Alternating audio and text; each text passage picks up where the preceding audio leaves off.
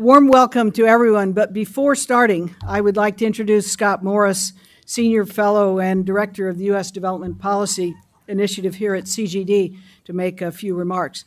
As Scott comes forward, I'd, I'd just like to add that uh, our thanks to Scott for all the support you've given to us as we prepare for the, um, uh, this AGM, and thank you again for enabling us to have this wonderful conference facility for our uh, meeting. So thanks to you and the whole CGD team have been great to work with. So thanks a lot. Um, well, thanks very much, Carol. Um, I simply want to provide our welcome and greeting, be very brief, um, and to say that we really uh, value the relationship we have with your organization. Um, I was uh, thinking this morning, we this year launched uh, a speaker series called Voices of Experience on the very premise that alumni have something useful to say. Um, so I'm particularly pleased that you'll have Ambassador Green here this afternoon. You'll hear from him, but even more importantly, he'll hear from you. Um, so best wishes for that. I'll be joining you later this afternoon. Looking forward to a panel at the end of the afternoon, and um, enjoy. Thanks.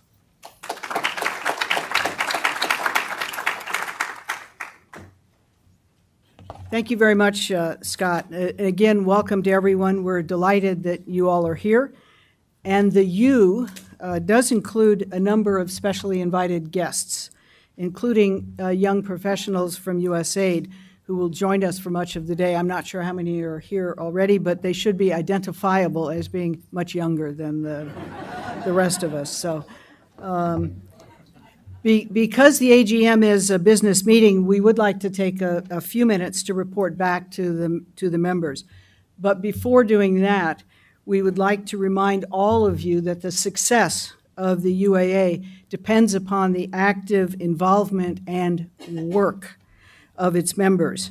We need more people to become actively involved, especially the next generation of USAID retirees, and that means people with less uh, white hair than some of us. We need more people to become actively involved. Um, and again, we plead uh, for you to do that. Please consider stepping up to uh, help build a sustainable USAID Alumni Association. That certainly will be a major focus of the, of the Executive Committee over the coming year, so I'm sure you will hear more about it uh, during the year. Now, we would like to highlight some of the accomplishments over the past year. Announcements of the AGM did include a link to the UAA website and a formal report that details 2017 activities and preliminary 2018 plans. If you haven't already done so, please read the report and provide us with your thoughts on future priorities. In addition, we will send out a separate survey in early January asking for your views. Once we hear from you, final 2018 plans uh, and uh, budget will be put in place. We think you will be impressed by the progress in 2017, including the continued increase in membership. As of October 30th, there were nearly 1,000 registered alumni and 370 plus contributing members. While the increases are impressive over the last couple of years, there is still plenty of room for growth, so please continue to reach out to former USAID employees to join the UAA. Regarding contributions, we would like to thank many of you for listening to our plea last year to make your 2017 contributions during the first two months of the year.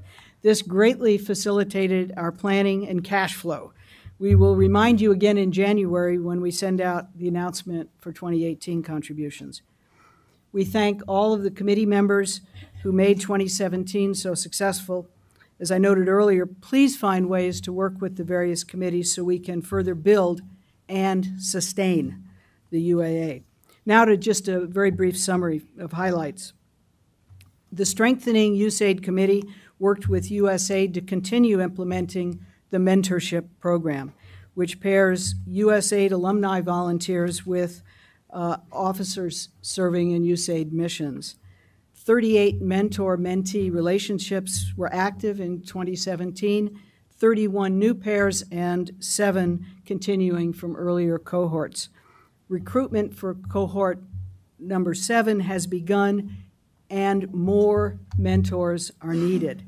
Please see Jerry Wood, Jose Garzon, John Hurd, or David Cohen to become a mentor or committee member. And again, more mentors are needed, so please volunteer. The Development Issues Committee organized an array of interesting presentations and discussions on international development at its bi-monthly committee meetings and at the Development Dialogue Series at DACOR House.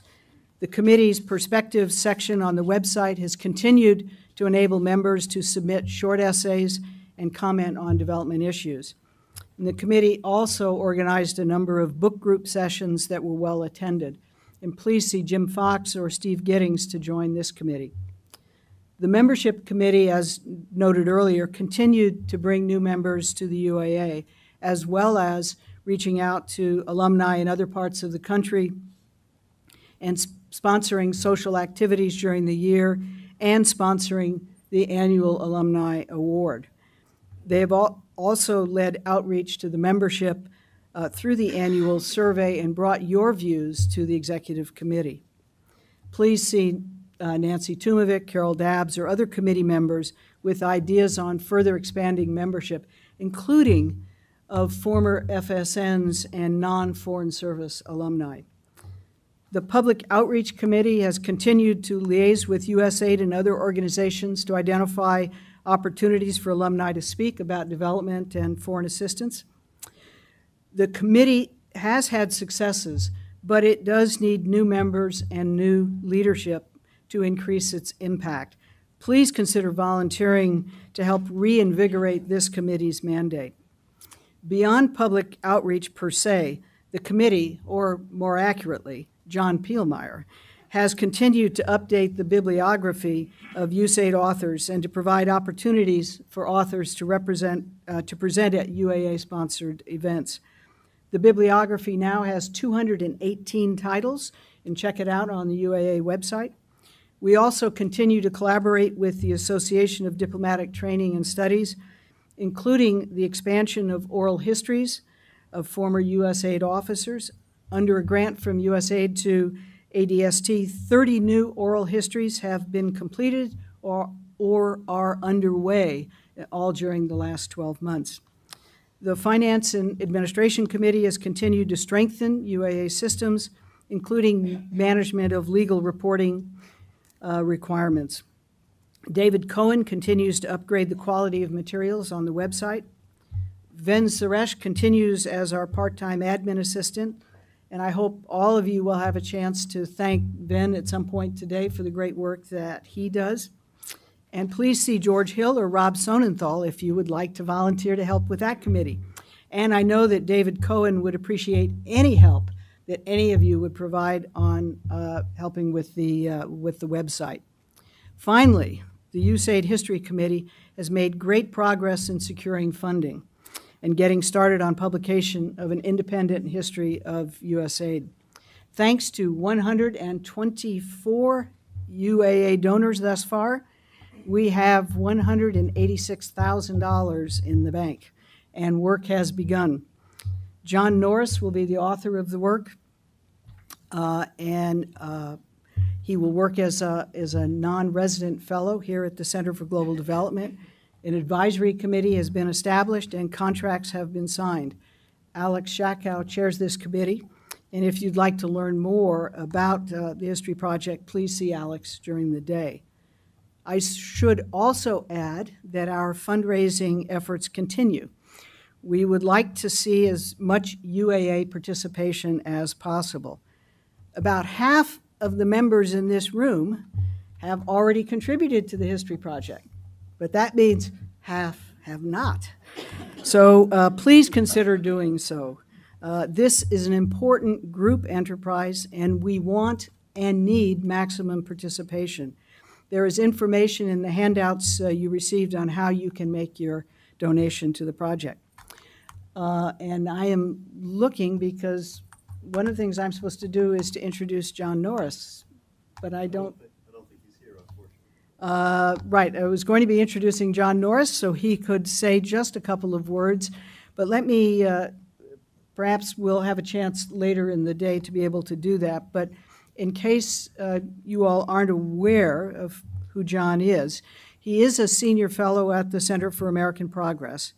And his um, prior experience in international development includes being a member of President uh, Obama's Devel- uh, Global Development Council. Oh, okay. John, I am. Oh, you have been. Okay. I have been. Uh, John, you should be coming up because given time, time constraints, we only can let you chat for a minute or a couple of minutes. But we do want to have everyone have a chance to see you. So as I was introducing, John has had senior jobs in in uh, the UN, State Department, international NGOs. Many of you remember John as a USAID communications director in the 90s. He's also worked on the Hill. And perhaps most importantly, he is a published author. And many of you may have read the piece he did for DevEx on former USAID administrators uh, about a year and a half, two years ago, which was a wonderful piece. So we feel very lucky to have John. And so, John, if you'd like to say a few words, thank you. Thank you, Carol, and apologies for wandering in a bit late. Uh, I'll keep my comments very brief. I'm just uh, very excited to be working on this. Obviously, it's uh, um, an enormous job in a lot of ways. Uh, as an author, you always worry that you're not going to have enough material. And this is a case where uh, my greatest concern is that I have an excess of material. Um, but there's really a compelling story to be told. Um, the stuff that was done around the 50th anniversary provides lots of good resources, as do the oral histories. Uh, but I'm sure I'll be reaching out to many of you along the way uh, to flesh out um, some of these stories and work on it. Uh, and I'm very excited to do this in partnership with all of you. Thanks.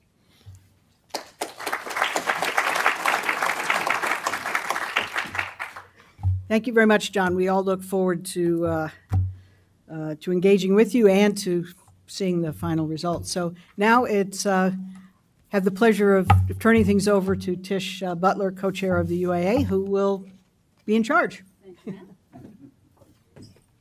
Best co-chair ever.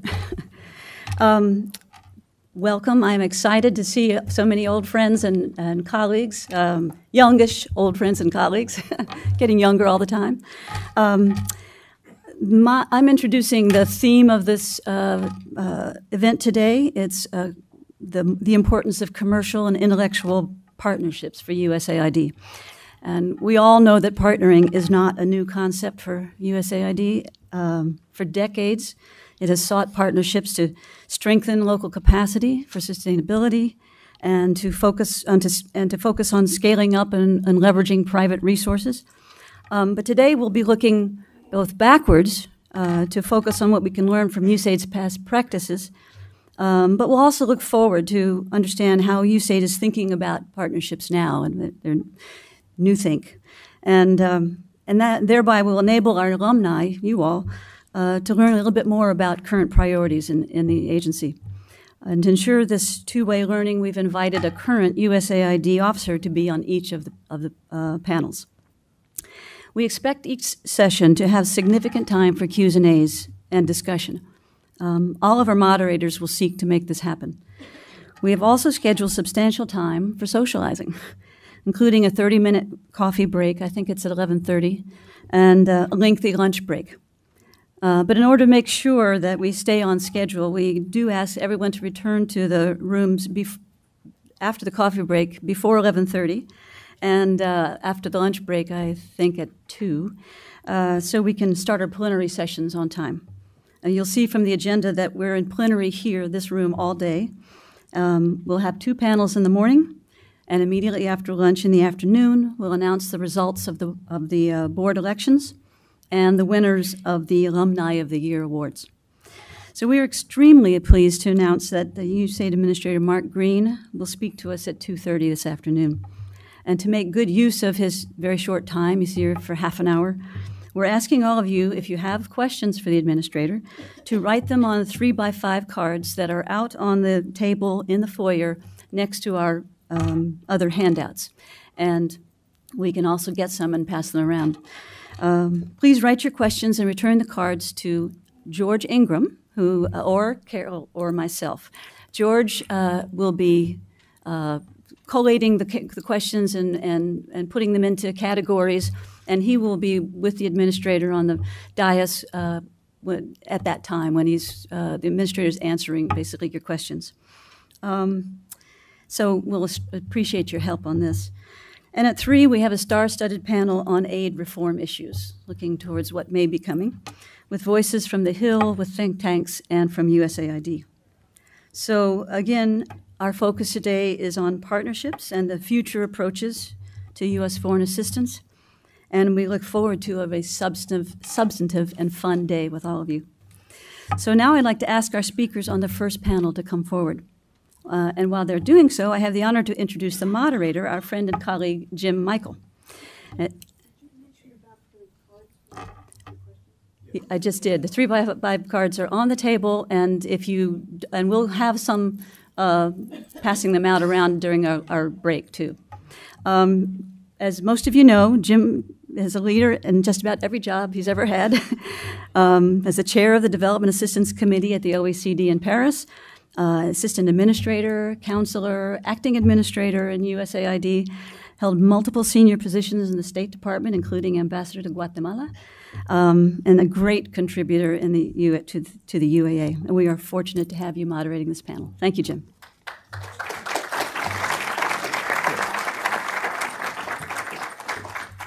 Can we pull this back? Will that cause any harm? Otherwise, it's, I'm afraid, going to block some people's vision. Okay, well, someone's, someone's supposed to turn us on, I think, so that you can hear us. Did that happen? No?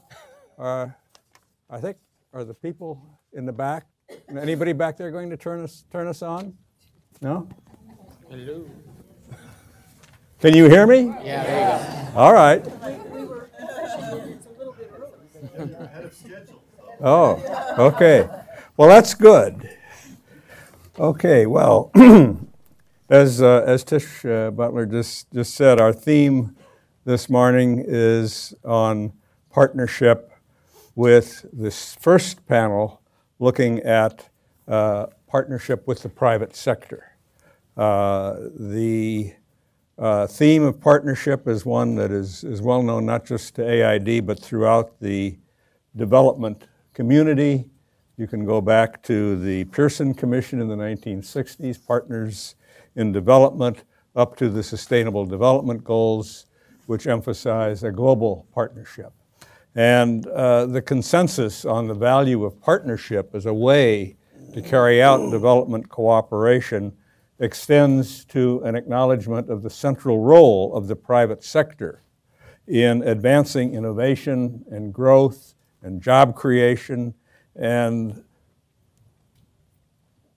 making uh, a big contribution to the overall economic and social development of any, of any country.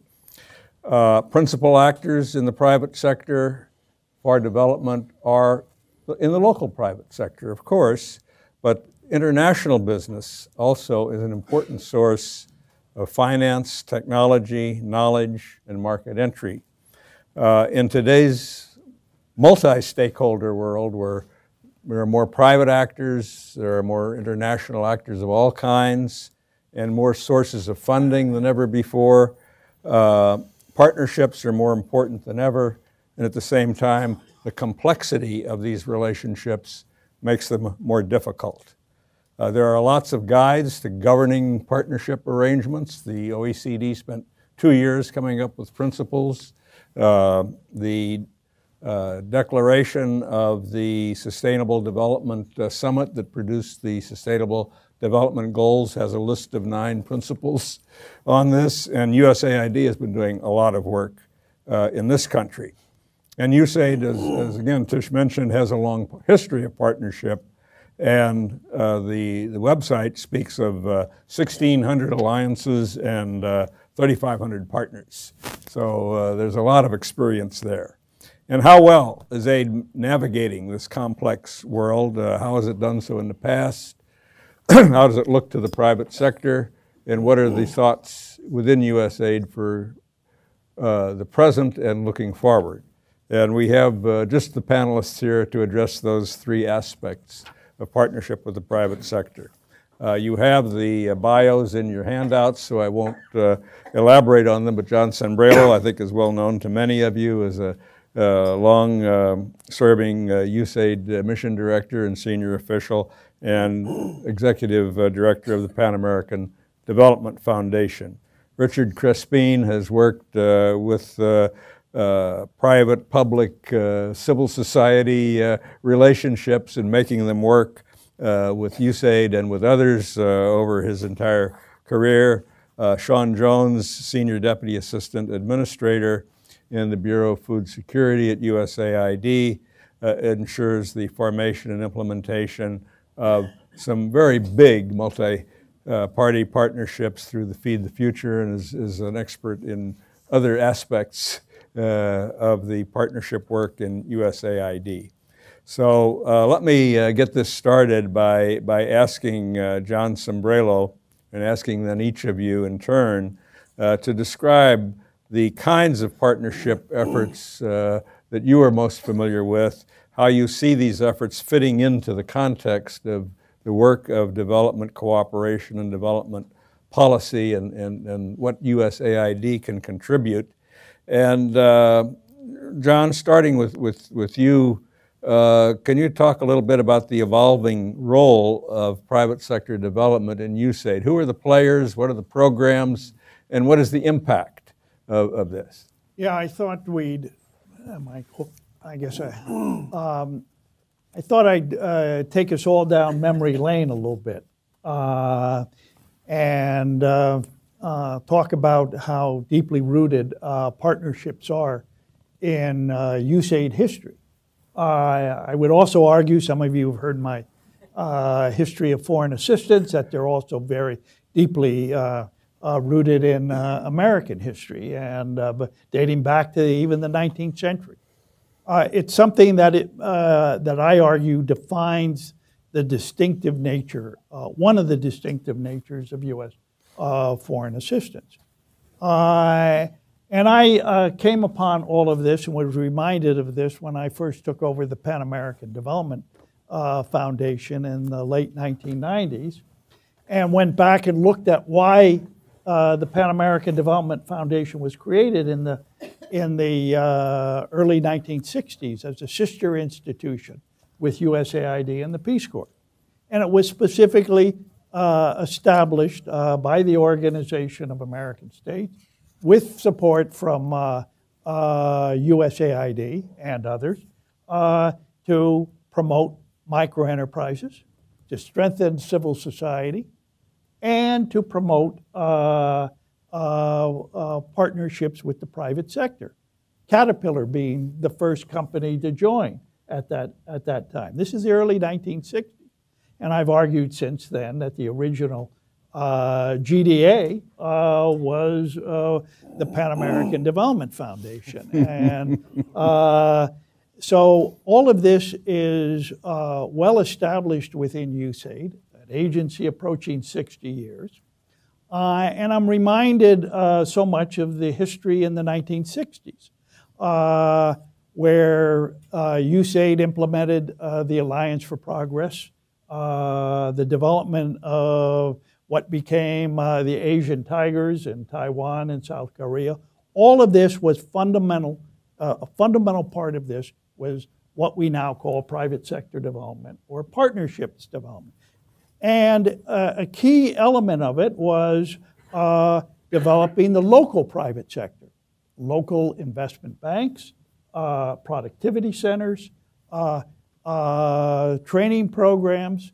Uh, you even had John Kennedy on the, on the telephone with the Harvard Business School, uh, convincing the Harvard Business School to get involved in Central America uh, and developing what today we know as INCAE, the Graduate uh, Business School of, of Central America.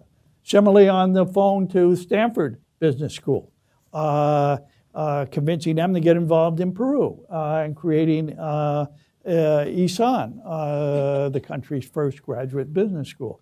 So there was a different time. A key part of this was the development and a defining iconic piece of that period was the development of investment banks. Uh, what in Latin America became financieras, uh, which USAID uh, put a great deal of emphasis in. The rationale being uh, developing uh, savings and channeling those, that savings into productive enterprises. And it involved investment bankers from the US uh, and investment bankers from uh, uh, Europe. And uh, a little known organization was created by, with the leadership of J- Senator Jacob Javits and Senator Hubert Humphrey uh, and leading multinationals that was called the Atlantic uh, Development Community Investment Group for Latin America, ADELA. And ADELA provided what would later become the enterprise funds, uh, the same concept of the enterprise funds in Eastern Europe, uh, for Latin America and the Caribbean, and became an iconic piece of the 1960s. The key point is that private sector was an integral part of mission strategies at that period of time. They weren't anecdotal undertakings. They were a fundamental part. Every mission had them. Every mission uh, had private sector officers. And as you move through uh, the history of USAID in the 70s, uh, even when there was a shift in USAID policy, we came back to private sector development. Uh, the Overseas Private Investment uh, Corporation was really created out of a program, an investment guarantee program that was pioneered by the Latin America Bureau. Uh, the Latin American Agribusiness Development Corporation, uh, regional integration uh, in the 1970s. Uh, the Trade and Development Program, created in the 1970s, even where most assistance was government to government at that time focused on the poor majority. And within the realm of more of our own experiences, the 1980s saw these iconic foundations uh, and groups uh, focused on, uh, on uh, uh, uh, helping countries make the transition from import substitution industrialization to export led development. And the famous ones were clearly in Central America, FUSADES that many of us worked on, uh, in Honduras, and the other ones, all with involvement from U.S. Uh, investment bankers, U.S. Uh, uh, importers of non traditional agricultural exporters. Ex exports and, and other uh, investors during that period of time. As the private sector program evolved uh, during the 1990s, the Eastern European program that we talked about uh, uh, drew upon some of this experience. I don't think it drew a lot on, on a lot of it, but it drew on some of this experience. But it, the basic point is private sector has been uh, a fundamental part of USAID programs throughout much of its 60 year history. There are tremendous lessons to be learned from that history. Uh, uh, they have often been controversial. In the late 60s, uh, there was an attempt to sweep the program under the rug because there were charges that only made the rich richer uh, and the poor poor, uh, unfairly so. Uh, and in the 1990s, it encountered other types of export processing zones, encountered others. But across the region, across the, the developing world, uh, beyond just the, um, the partnerships that Jim uh, laid out, the recent partnerships over the last 15 years, uh, there are hundreds of institutions, from savings and loan associations that Peter Kimm has talked about, uh, to uh, the investment banks, to the productivity center, to the training centers, to the graduate business schools, all of which fit within, in most cases, a comprehensive strategic focus that was mission based with support mechanisms uh, from uh, USAID uh, Washington. I think that history is extremely important, uh, and all of us and USAID can learn a great deal from that history and the lessons learned. I'll talk more about that in the second part. Okay. Thank you. Okay, thank you, John. Uh, Richard, uh, how does all this look from the private sector side? Uh, John has described a number of programs, and we have uh, a bunch more. We have Global Development Alliance, we have a Development Credit Authority, we have a Development Innovation Ventures, we have uh, broad agency announcements that pull in private sector ideas, and we have uh, a lot of other programs uh, that are related uh, with OPIC and TDA and Ex-Im and MCC. And uh, we have multilaterals like the International Finance Corporation and all of these relationships. And uh, you have to figure all this out if you want to do business with, with AID and its role in these complex, often multi party relationships. How, how does this all look from a private sector Yeah, perspective? um, so picking kind of up on where John left off, uh, perhaps telling the same history, but from the perspective of the private sector for a second. Um, yeah, I teach a class at GW on public-private partnerships, and my graduate students oftentimes think of companies as Johnny come latelys to the game of development and to um, social purpose. And one of the first things I try to do is to disabuse them of that notion. And in fact, if you go back and look at the original corporations, the British East India Company and the Dutch East India Company, in their charters, they had social purpose and mission written into those charters. And our companies of today are heirs to that role. We may disagree with those missions, um, but the mission of Crown and Christianity and commerce were all written into their charter, commerce being the third of their priorities, um, the other two being more supreme.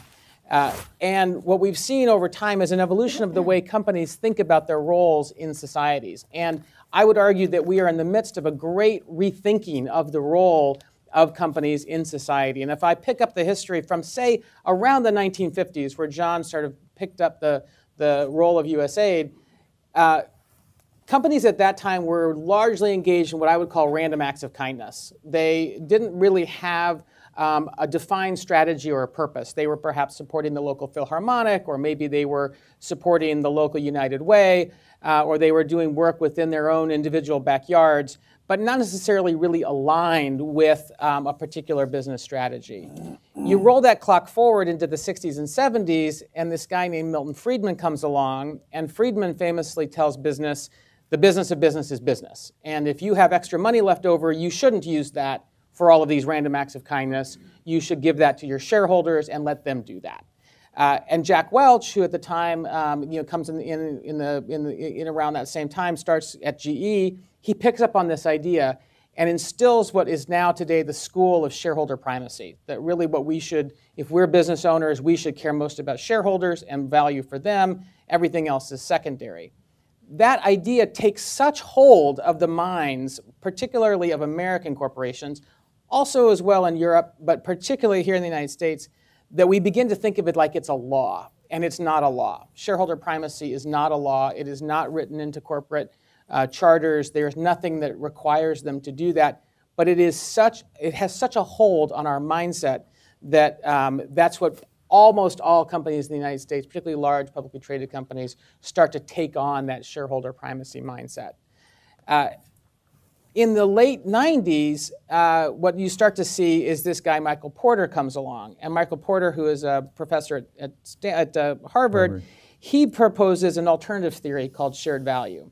And the idea behind shared value is okay, I get it, what you're saying, Milton, but I think that there are probably things, long term investments that companies could make that would have social purpose, that would serve the long term strategic interests of the company.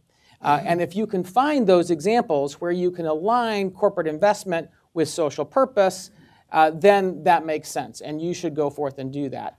Jeffrey Immelt comes in to GE in the early 2000s and picks up that mantle and runs with it. And that countervailing theory, where I think shareholder primacy is still probably the dominant school of thought, this alternative theory of shared value has begun to take hold in many corporations. Um, particularly, uh, I think it's really wildly popular i- in Europe. Um, uh, Unilever and Paul Polman are really sort of the poster children in Europe for that kind of thinking. And GE, slightly less successful. Jeffrey Immelt's you know, now retired, slightly less uh, uh, of a beacon of management success that Jack Welch was, but still people do look to him and his example. That I think tracks very interestingly along with the history that you told John about uh, the history of, of um, USAID. As you see, um, you know, the Development Credit Authority uh, getting authorized in the 60s, we see, we see um, DIV and the GDA getting authorized you know, later uh, as providing targeted instruments for targeted investments uh, and targeted partnerships, which sort of helps to support and align where companies are starting to think differently about their social purpose and their role um, in international development. And I think now what's sort of the emerging thing on the horizon is what we call collective impact. This idea that um, the really big problems that are left to us in society are not single actor or single sector problems. They require multi stakeholder, multi sector approaches. Uh, Mark Kramer, who is a colleague of Michael Porter's at Harvard, uh, Michael and Mark put this theory forward of collective impact. Uh, and that we need to, to create platforms that would support that kind of multi stakeholder engagement and involvement. USAID has um, helped to support that with things like um, the broad agency announcement, which we can spend a lot of time talking about, or um, even the new proposal that George Ingram and his colleagues have put forward on the Development Finance Corporation, uh, which would create um, opportunities for multiple agencies within the de- development community to work together and to fund particular programs. Uh, the one thing, though, that I want to leave you with uh, is that corporations are not monolithic. They are they're they're all they like humans they exist on a spectrum. And the vast majority of corporations don't think about social purpose and they don't think about international development. Um, most companies well in fact i would say almost all companies get to be what they are because they specialize in something and that specialization is rewarded by the market for their specialization thinking about big picture issues like international development and social purpose very few companies have the time or the energy to devote to it. And even those that do, only a few people within the company mm-hmm. are rewarded for doing that. Most are actually almost actively punished for doing that. You're, go, go back to work, do what we're paying you to do, do those things. Please don't bother us with these bigger issues. And even in business school, we used to teach them as externalities. You know, in fact, please actively ignore them. They're distractions. Please focus on producing more widgets at a certain rate more companies are starting to think this way, but I still want you to, to realize that it's really only a minority of companies. It's not the vast majority of companies, and it's only really a few of the bigger, more successful multinationals um, that are doing that. Okay, thanks very much. Mm-hmm. Uh, that's an intriguing uh, picture of uh, how uh, views have affected uh, performance and the evolution of private sector attitudes, just as we've seen an, evolution in public sector attitudes that John referred to. Well, Sean, it's up to you now to bring us up to date. Uh, the uh, work within USAID now has picked up some very big challenges with, with Feed the Future, Power Africa, other big worldwide initiatives that uh, bring the, that depend very much on constructive relationships, including uh, with the private sector. Uh, the Development Lab is a, is a new institution that uh, is perhaps not known to, to a lot of the alumni. the governance principles for managing these complex multi-party relationships uh, are easy to recite, but hard to make them work. and can you tell us how is it all working now in today's USAID? as you try to face these big challenges in a way that is uh, collaborating with uh, many partners, including especially in the private sector. Sure. Well, thank you, Jim. Um, you know, there's nothing that keeps you more on your toes than being in a, a room full of your former supervisors and bosses. So, uh, it is absolutely an honor to be here with all of you, and uh, I, am not even going to try to teach any of you anything uh, today. What, what, I basically I would like to provide a little bit of that update about where a lot of the work that you were involved with, uh, creating uh, creating uh, doctrines and and principles around partnership uh, setting up some of the mechanisms by which we could partner effectively. Uh, how we've taken some of those and produced really big, um, uh, we're trying to produce really big results that are hoping to tackle some of the biggest problems we have uh, in, in the world.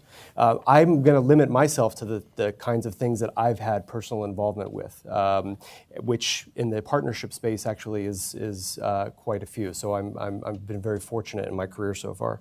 Um, Currently, I'm, I'm in the Bureau for Feed, the Food, or Bureau for Food Security, which implements the, uh, the billion dollar annual uh, Feed the Future program uh, across 11 agencies. It's a global portfolio. Uh, what we recognized very early on in the creation of that bureau about eight or nine years ago is that there was absolutely no way that whether it was a billion dollars or $50 billion, that we were going to resolve the, uh, the food security crisis that continues to actually grow every single year, whether it's due to conflict or climate change or anything else. And so we, we immediately started looking at what are, the, what are the ways that we can engage other actors in this space, other actors who, who have a stake, who have resources, who have expertise, who have a presence in a lot of these countries. And since, since the beginning of the Bureau for Food Security and the beginning of the Feed the Future, this interagency uh, initiative, uh, we've been partnering with uh, Fortune 500 companies, uh, all the way down to the mom and pop shops that have developed some kind of refrigeration system in their barn in upstate New York. And we've been trying to, we've been identifying ways that we can support the work that they do so that it complements all of our, whether it's a mission level strategy or a Washington level global strategy, uh, identifying ways that a, a, true partnership between us and a country uh, uh, and a company or a group of companies actually can make some impact uh, in the space in, in which we're working. So now we, we've, uh, we have statistics that range somewhere, uh, notwithstanding the statistic that Jim already mentioned, which is, I'm absolutely sure is correct because it was on our website. Uh, on the, in the, just in the Bureau for Food Security, there, we've, we've recorded now over 2,500 public-private partnerships. Uh, that's with, again, from the Fortune 500s all the way down to the mom and pop shops uh, operating out of their barn. Uh, and those are continuing. And in fact, what, what the Bureau for Food Security is doing now is actually, from a, from a central bureau standpoint, kind of taking a step back with what we are funding directly. And instead, we're going to go out and we're going to help all 80 plus missions out there replicate the, the public private partnership model within their own missions. We hope it starts, it will start in the agriculture and food security space and nutrition space, but we're hoping it actually kind of starts to infect other missions, uh, other, other offices within those missions uh, to the extent that they're not already uh, doing some of that more aggressive public-private partnership work. Power Africa is another model. Uh, it's also an interagency initiative. Uh, it's got 12 US government agencies that mobilize their tools and resources to attack a common problem. It's a global portfolio. But unlike Feed the Future, is that Power Africa is absolutely 100% based on the power of the private sector. If you don't partner or work with the private sector, whether there's any money changing hands or not, there's no way you can get a power deal done in a particular country. There's no way that an infra, a, set of important infrastructure uh, investments are going to be made. There's no way that those private banks are going to come in and even talk to that civil society organization um, uh, from the most rural part of Tanzania, for instance. And so that model from day one starts us talking with the private sector. Uh, and, and it is a very powerful model to the point now where that, that program has recorded in just, I think they're at about a four and a half year mark, uh, $54 billion in private sector commitments to invest in power sector projects in Africa. That's astonishing. And there are only, only about, a, only, I say, 140 companies that have officially signed up for Power Africa. So 140 partners with, uh, with $54 billion. Those are massive investments that I hope will make a big dent in uh, changing the, the future of the electricity sector in, in Africa. Uh, the lab, uh, Jim mentioned the lab, and the lab um, is, is an impressive tool. What I, I, do view the lab as a tool. What they are trying to do is basically identify uh, the real advancements that they can make uh, in whatever sector it might be, and it truly is whatever sector, using technology, using great ideas uh, in collaboration with academic institutions, private sector, whatever it might be. And then trying to attack real problems. First with a little bit of seed money, and then if that idea takes hold, they put a little bit of more money in. Uh, and, and it's in true partnership over a number of years, trying to get big ideas, big technologies rolled out and commercialized so that the rest of the world can, can take advantage of them. And they used a lot of the traditional, I would call them traditional, tools that we've been using over the past 20 years, for, for instance, um, starting with the GDA and the DIV, some of the, the mechanisms that, that Jim mentioned. Uh, they're, they're using those quote unquote traditional mechanisms to do their work. And then we think about now we're in a phase, so just think we're two decades into trying to perfect these different models, these different approaches. I believe now USAID is entering into a new phase of experimentation. Uh, in Washington, we are rethinking the way, what, how we define partnerships, what, uh, what uh, a partnership means. Is it, is it equal? Is it us funding somebody? Is it a mix of the two? Who's in charge? Who's not? Is there even money changing hands? Uh, and then what are the tools that we need to create that we've not yet considered in order to uh, make those things, uh, and in order to make our next couple decades of partnership development even, even stronger than our last couple decades. Um, I, a great a, example, uh, it's a great example only because I was mission director there. Uh, in Mexico, uh, so, uh, we, we receive about $45 million in appropriated funds every year. Using that $45 million, my, my last year and a half, we worked with the team to kind of change the DNA of our mission. Uh, and what we did is we basically took that $45 million and we said, we're going to use our entire uh, appropriation to basically catalyze and facilitate private sector investment in a place like Mexico, which a lot of Fortune 500 companies and others have their offices. So we're a special circumstance there. But after about a year of, of doing that and having everybody in the mission do that, and having Washington kind of watching over us and, and monitoring, and, but not, not stepping in the middle of. Uh, we had gotten to, we created a deal book, if you will, of $1 billion in public private partnerships using that $45 million on an annual basis that, that's an example of experimentation that now we're taking some of those lessons learned from Mexico or from India or Indonesia, uh, where a lot of missions are experimenting in this space, and we're taking those back to Washington to truly try to impact the way that we all do business on a daily basis. Jim mentioned the, the governance principles, uh, uh, as well as, and I would, I would add the monitoring and evaluation aspect yeah. of, of working with, uh, with the private sector. It all comes down to how you view your partner. It, we, we often get lost in the idea of implementing partner as, yes, while an implementing partner is a partner, it's a different type of partner than if you have a company or a bank or an NGO or a foundation literally putting their own money in, into play. And we're not put, we're matching it but we're not actually giving them any of the money to implement our program. It, i would call that more of a strategic partnership strategic alliance. You cannot I mean, you can ask for data and reporting, but you know the likelihood, unless you've really come to a gentleman's agreement about what that looks like over the long run, you're not. They're not going to send you reports. They've got they've got their day jobs. Um, they they're not focused on re- giving us data and reporting back for for USAID's purposes. Right. So the governance principles really are about how you structure a relationship, I believe it's it, it, a lot of it does fall on the personalities involved in a relationship, and I'll talk a little bit later. Uh, I'll have an opportunity, hopefully later, to talk a little about relationship management. Um, we talk. It's about the relationships, about how you structure them. It's about getting those handshakes early on about what are the expectations uh, between in, in, a true partnership where it's truly equal uh, uh across all of the actors that are at the table. Okay, that uh, is very interesting to hear about all that is going on. Um, I was particularly struck by the effort being made to support the ability of missions to engage uh, and to use these tools so that it is not a centralized Washington effort.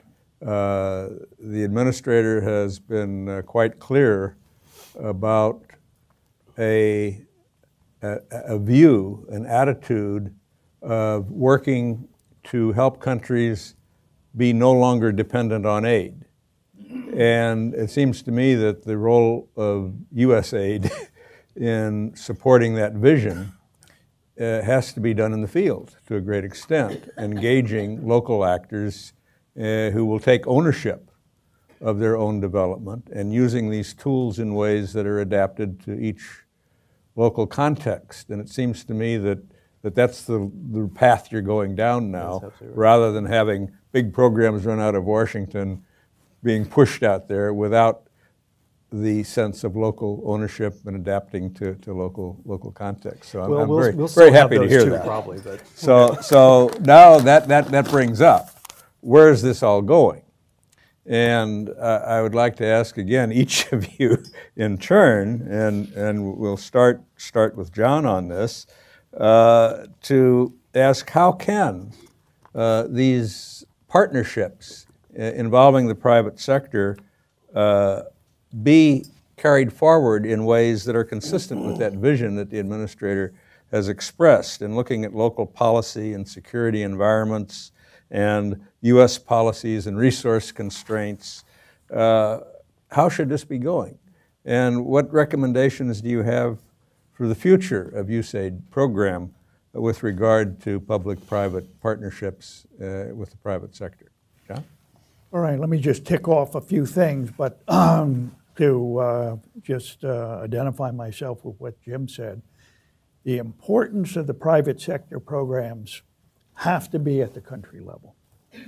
And that was the defining characteristic in the 1960s, the successes in the 60s, and the successes in particularly the 80s. Uh, that they were driven by missions and they were adopted to mission uh, conditions.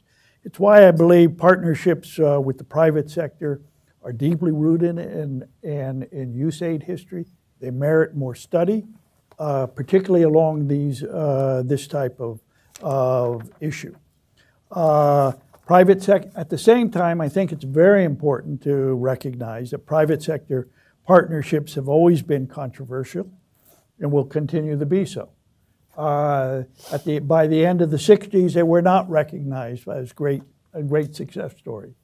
In the, uh, in the late 80s and 90s, we got into trouble with the export processing zone. So I think you always have to be careful uh, with this. And that's why, again, I think the history of uh, USAID's involvement is e- extremely important.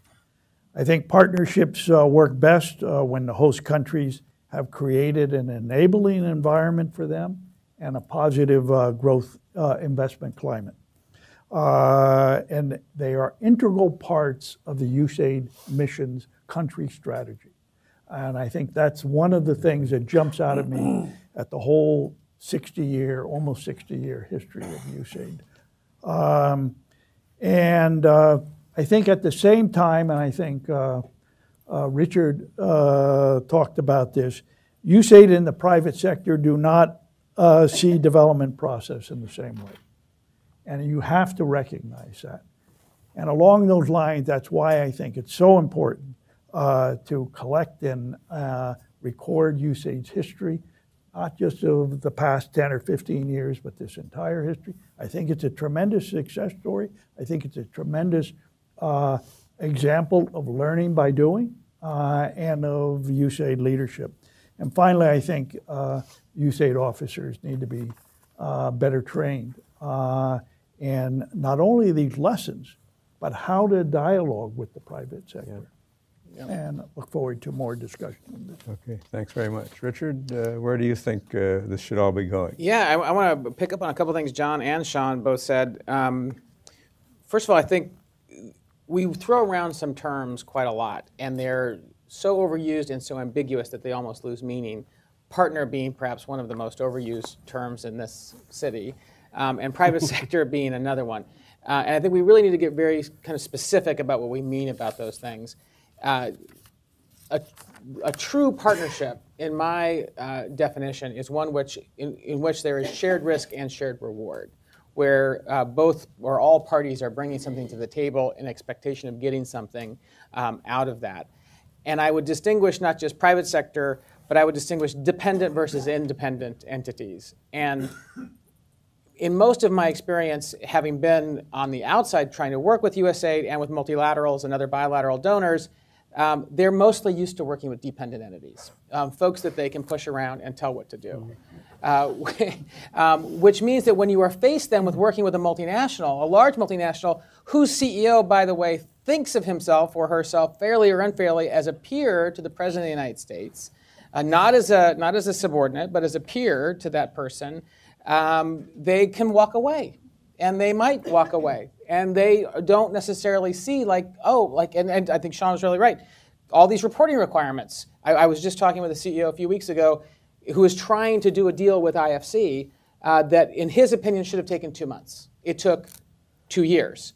And the main sticking point was reporting requirements, uh, which they perceived as punitive, uh, which the World Bank and, and IFC saw as anti corruption. So no real dialogue over that, just do what we tell you to do, was kind of the response that uh, the company kept getting. Fortunately, that company was willing to stick it out and see it through. So we really need to get really specific about that. And there, and, and in contrast, though, I'd also say that like there are dependent entities in the private sector. The Development Credit Authority was established to do loan guarantees two small companies, those are going to be by nature dependent entities. They're, that's a loan lender type relationship, not a true partnership. Mm-hmm. So we got to kind of distinguish between those things. Um, in terms of recommendations, you know, picking up on what John said, I, I would offer four. Um, one, I think what we need is a focus um, on a set of development challenges, just a, a development framework. I would propose the SDGs, the Sustainable Development Goals, doesn't have to be those, but some sort of framework that we say this is what we're working towards. And then I would recommend looking within those for what I would call solvable problems. There are problems within the SDGs that have been solved somewhere. Those solutions are just trapped. Cervical cancer, as an example, um, uh, post harvest loss, uh, youth, the, the youth skills gap. These are things that have been solved in some place, they're just trapped for one reason or the other. And I think that USAID and bilateral and multilateral donors could be a bridge to help provide the extra finance, the extra convening power, the extra oomph to get those solutions over the edge. And those, those are things also, by the way, that I think the private sector would see a great deal of interest in trying to solve because they're also business challenges to them and they would see market opportunities in trying to solve them. So pick a development framework, focus on solvable problems, then focus on how you can provide, be a bridge to markets or to overcoming so, um, structural failures. And then my fourth one is that we need to think about how we can really actively co create with the private sector. And that goes back to my point about partnership. Right now, we, we've been involved, our, our organization has been involved in a lot of like the BAA type, uh, the broad agency announcements, and other ways of trying to bring in outside voices and try co creation unleashed a lot of creativity in those processes. But at the end, all of that creativity has to go back through the needle's eye of the procurement process. And all of that great creativity that was unleashed gets stomped down in the effort to make it back into a grant or a contract or a cooperative agreement. So somehow trying to deal with that in a way that is more equitable, mm-hmm. but also preserving of all of the things and the, the, the regulations and the laws that we have to abide by, uh, but, but preserving the, the, um, the creativity in the process. And I think a lot of it comes down to something I think both of you said, which is that in my experience, a lot of, there's a lot of innovation going on within USAID, a lot of really, really innovative people. Um, and yet, it is very um, sporadic. It, going from one mission to the other, you don't experience the same level of skill or knowledge or um, uh, familiarity with working with the private sector or working in really uncomfortable, oftentimes creative, um, sometimes uh, risky situations. And a lot of it comes down to the, to the AO. and I think the acquisition, we really need to spend, we have starved the acquisition workforce, in my opinion, of our um, opportunity, of, of, of, the capacity and knowledge and skills that they need. And we need to reinvest uh, in, that, in that area. Great, so. thank you. Well, Sean, now you've heard some ideas uh, you have to implement a lot of how this is all going forward. Uh, where do you see USAID going in trying to make the most of this tool, you might say, of public private partnership and the opportunity that it presents for advancing this vision of locally owned development uh, that uh, is enhanced by uh, USAID's interaction and relationships with partners. Sure. So I think one of the thing that one of the things that has plagued the agency, and I'm, speaking very broadly, very generally, um, is that we we haven't had a private sector focus. We've had some tools. We've had some officers who really get it. They know how to work with. Maybe they came from the private sector. They or they've learned how to speak with the private sector.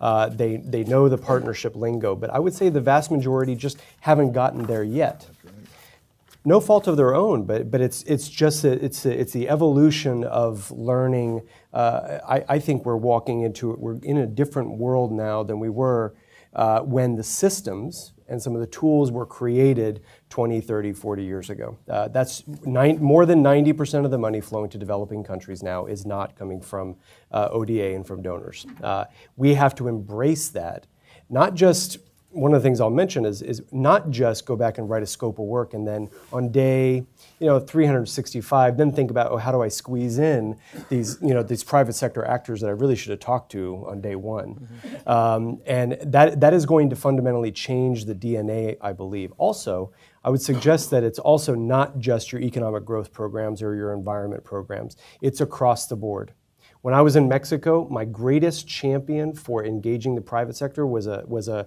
a second or third tour DG officer. She came up with the, mo- uh, she came up with the most impressive public-private partnerships that I've seen anywhere in that space. Um, so if anybody needs a name, you're hiring. She's a foreign service officer, but you never know. Um, so there are, I have five things that I, I do, uh, I, I, I, would like to share with you that I think uh, are in line with Administrator Green's vision of, of where the agency is going uh, in, in space of private sector partnerships um, or partnerships more, even more broadly. He has talked about changing the DNA of the agency.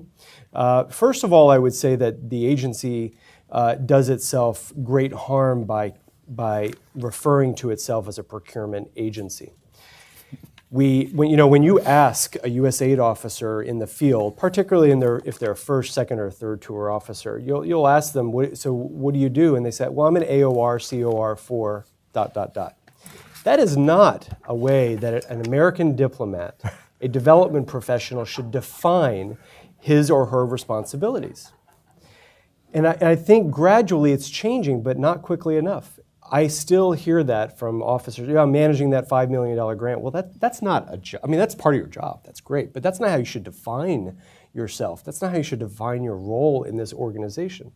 We fought hard. You all have fought hard to create an international development discipline that is respected by our peers around the world. USAID is still seen as a development leader regardless of what anybody says. We really are viewed by all donors, by most countries, as the international development leader. So that was number one, just that we, I think we need to cease referring to ourselves and self-identifying ourselves as, uh, as officers somewhere in that procurement chain. Uh, what I do believe we should refer to ourselves as is what I would, what I would coin or term a, a relationship manager. It's, that's also another term that's very overly used. In, in this context, it's not just saying that I manage the relationship with Coca-Cola or Starbucks or Green Mountain Coffee, whatever it might be. It's referring to yourself as someone who, who is a, I, my job is to manage relationships on behalf of the American people. And the way I do that is threefold. One is I do manage some implementing uh, partners. I manage those agreements. That's one part of my three, three major functions.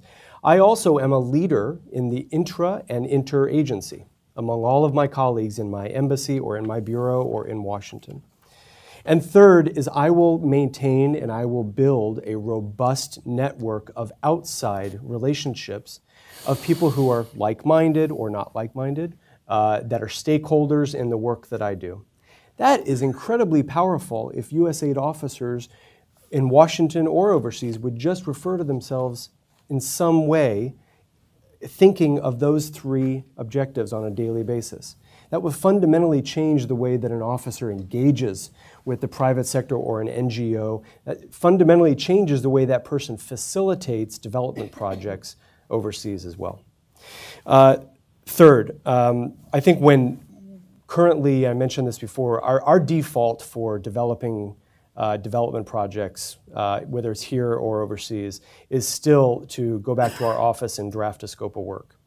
I think that should not be our default position. Our default position should be let me understand the full ecosystem in which I'm working. Let me understand those five foundations that are, that are bringing in a couple hundred thousand dollars or a couple million dollars into that country or in that sector. Let me understand what, what Coca Cola's interests are in potable water uh, or uh, a pharmaceutical, God forbid, a pharmaceutical company's interest in, in, in working in a, in a value chain or, or uh, a distribution chain in a particular country. I think we need to, we, our default should not be going back to our office and drafting a scope of work and then fitting in there somewhere that the implementing partner should find partnerships or mm-hmm. that, you know, eh, but which usually, frankly, occurs again on that day 365 of implementation or even in the fourth year of implementation right before they're, they're getting that last CPAR. Fourth, um, I think that the act of partnering is insufficient if you're only bringing one partner to the table. I think if you're, if you're, act, if you're actually trying to change the outcome in a sector or in a country, uh, or in a, in a regional, a, a, larger geographic area, or if you're just trying to introduce a new model of, of a way that business should be operating uh, in a developing country, I think you should be bringing together all of the partners that have a stake in that sector or that country or that region uh, or that business model to the table. And amazingly, I think uh, officers often underestimate their ability to convene 10, 20, 30 partners in those initial meetings to start mm. talking about what, what are all of our interests here? What are we all? What are all the tools that we bring to the table? And oh, by the way, we're not going to be funding a hundred million dollar program. What we're going to be doing together is we're actually going to identify the tools and resources that we can all work together over the next four or five years. Oh, and I may not I may not be able to put on my AEF that that I'm that I'm managing a COR um, that I'm a COR or AOR for this, but rather I'm re- I'm managing a series of relationships that is going to change a sector or change a country or something like that. And lastly, uh, one thing that I, th- I, think we commonly fall into the trap of is referring to financial institutions and banks as, uh, as organizations that are just providing money to a project. I think we have to change that perception. I think if we treat financial institutions as partners and look at them as not just uh, our, our partnership sort of, or my relationship with them ends the day they disperse the money for a project or a DCA or uh, a, a, partnership overseas. That if I can, if I commit to managing that relationship, it goes back to that relationship management idea, managing that relationship for years to come, that you're, you're likely going to have a partner for life for our agency and for that in that country and in that sector. Okay, well, this has been just uh, just tremendous. I, I, I, would like to just uh, uh, mention some of the principles for uh, governance that uh, we alluded to in general terms, um, and uh, just pull a few of them out of the OECD or the SDG list. And they they they are agreed context-appropriate targets. Do you really know what you're trying to accomplish? Clear roles that avoid duplication. Do we have clear lanes for all of these different partners in the, in the relationship? Transparent communications, important so that you trust each other. Focus on results. Keep it pointed in the same direction and not allow it to diverge in different ways. Incentives for cooperation, so people want to cooperate. Monitoring of performance, as, as Sean mentioned, so that you know how, how you're doing and systems for resolving differences so that you don't have it fall apart into discord. Now, this gets back to what you said about this is kind of a development diplomacy role rather than a development as projects idea. Mm-hmm. And it really is an important way to think about it. And I think we can draw a lot on the history uh, and what we can learn from that to inform how we go forward with this way of doing business in a more complex development environment. Uh, so thank, thank you to the panelists, and I think now we have some time uh, for getting this into a broader discussion uh, with the audience and uh, ask them the hard questions, and I'll, I'll field them and pass them along. Uh, let's, let's start over here with the first hand that was up, Marcy. Hi, I'm Marcy Oh, Birnbaum. eh, wait for the microphone, please. I'm Marcy Birnbaum, and uh, what John has to say harks very strongly with me because I've been involved, and my husband was involved with private sector. There's a challenge. Listening to you, Sean, I sit myself and I say, "Wow, I wish you, you're the senior DAA. I wish you were the administrator. I wish you were the president of the United States. Because we, what it's all about in large places, creative people like yourself. Liz Warfield, who worked with public, who developed the public-private partnership, went down to Mexico. She had an environment and worked with her staff. So what we ha- what hasn't been said is the conundrum that we deal with and we've dealt with over the years is changing administration and changing administrators. When you talk about getting the DNA, that's a long-term action. So I'm probably going to ask a question that can't be answered, but how do you deal with this change uh, and how it affects the agency over the years? Because what you're talking about is music to my ears. how much power do you have to influence that, and what will be the future? Do you want to take another question? Want to take a couple of questions? There's one over here at the other end of the, of the row here. Let's take three and then ask, ask panelists to respond as appropriate. huh? Okay. Uh, my is Douglas Sheldon. Um, the one thought I had in listening to the discussion is the th- there's the conundrum we always have on governance and accountability, and it's it's fine to recognize that we often will need to operate in a different way on a handshake, and I'm familiar with how difficult it is to seek reports and seek information. But unfortunately, we're going to have to have some changes that lead to a leap of faith on this because, as stewards of federal money, sooner or later, someone comes back to see where that money has gone. And we have to have um, a way of looking at that. We have to accept that not all of our partners work out to be just and honorable people.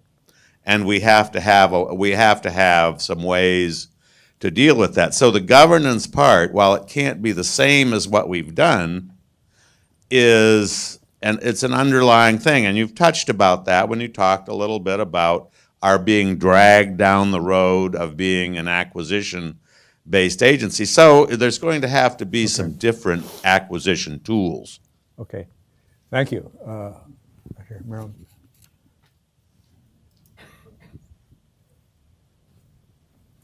Accountability. How do you preserve accountability? Okay, yeah. Marilyn Zak, I want to follow up a little bit on Marcy's uh, questions. One issue for me has always been this relationship with the State Department and the ambassador you have in the field, all right? And if you have an ambassador who is extremely jealous of his connections, or her, it's off, not often enough it's a her, but the fact is that to have all these relationships with these leading business people in your country, and I know at times there's been some issues in Mexico earlier on, that um, the aid director doesn't have that ability to reach out without the involvement of the ambassador. So you're dealing with the next layer up, and how then you convince your ambassador, if by personality or by direction from Washington, he has uh, a very different view. Okay, thank you. Let's see, we got three. Shall we, shall we uh, ask panelists on those? So it's, uh, how do you deal with the changes that occur? You put it in terms of changes of administration, but you could say changes in congressional attitudes, changes. you know, it- it- There's, there's no consistency necessarily in attitudes and policies. Sure. How do you deal with, with that? Uh, how do we deal with accountability? Can't avoid it, uh, but how do you make it workable in this new context? And relationships uh, that uh, we haven't talked about so much are internal relationships with the State Department and with an ambassador in the country where you're trying to do some new things and do them differently.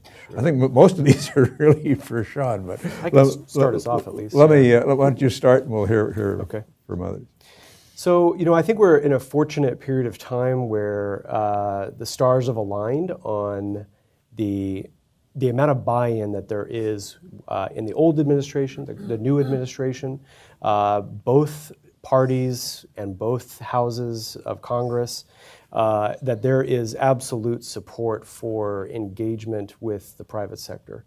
Um, and I, I really do believe that. And I think Administrator Green is as one of the biggest champions. I think we're very fortunate to have someone like him uh, who has come in with an idea of how do we how do we take the the tools that we we've been working at perfecting, and then put them on steroids and ramp it up even further? How do we think about them differently? How do we bring tools into different constructs that allow us to do our, our work more efficiently, more effectively?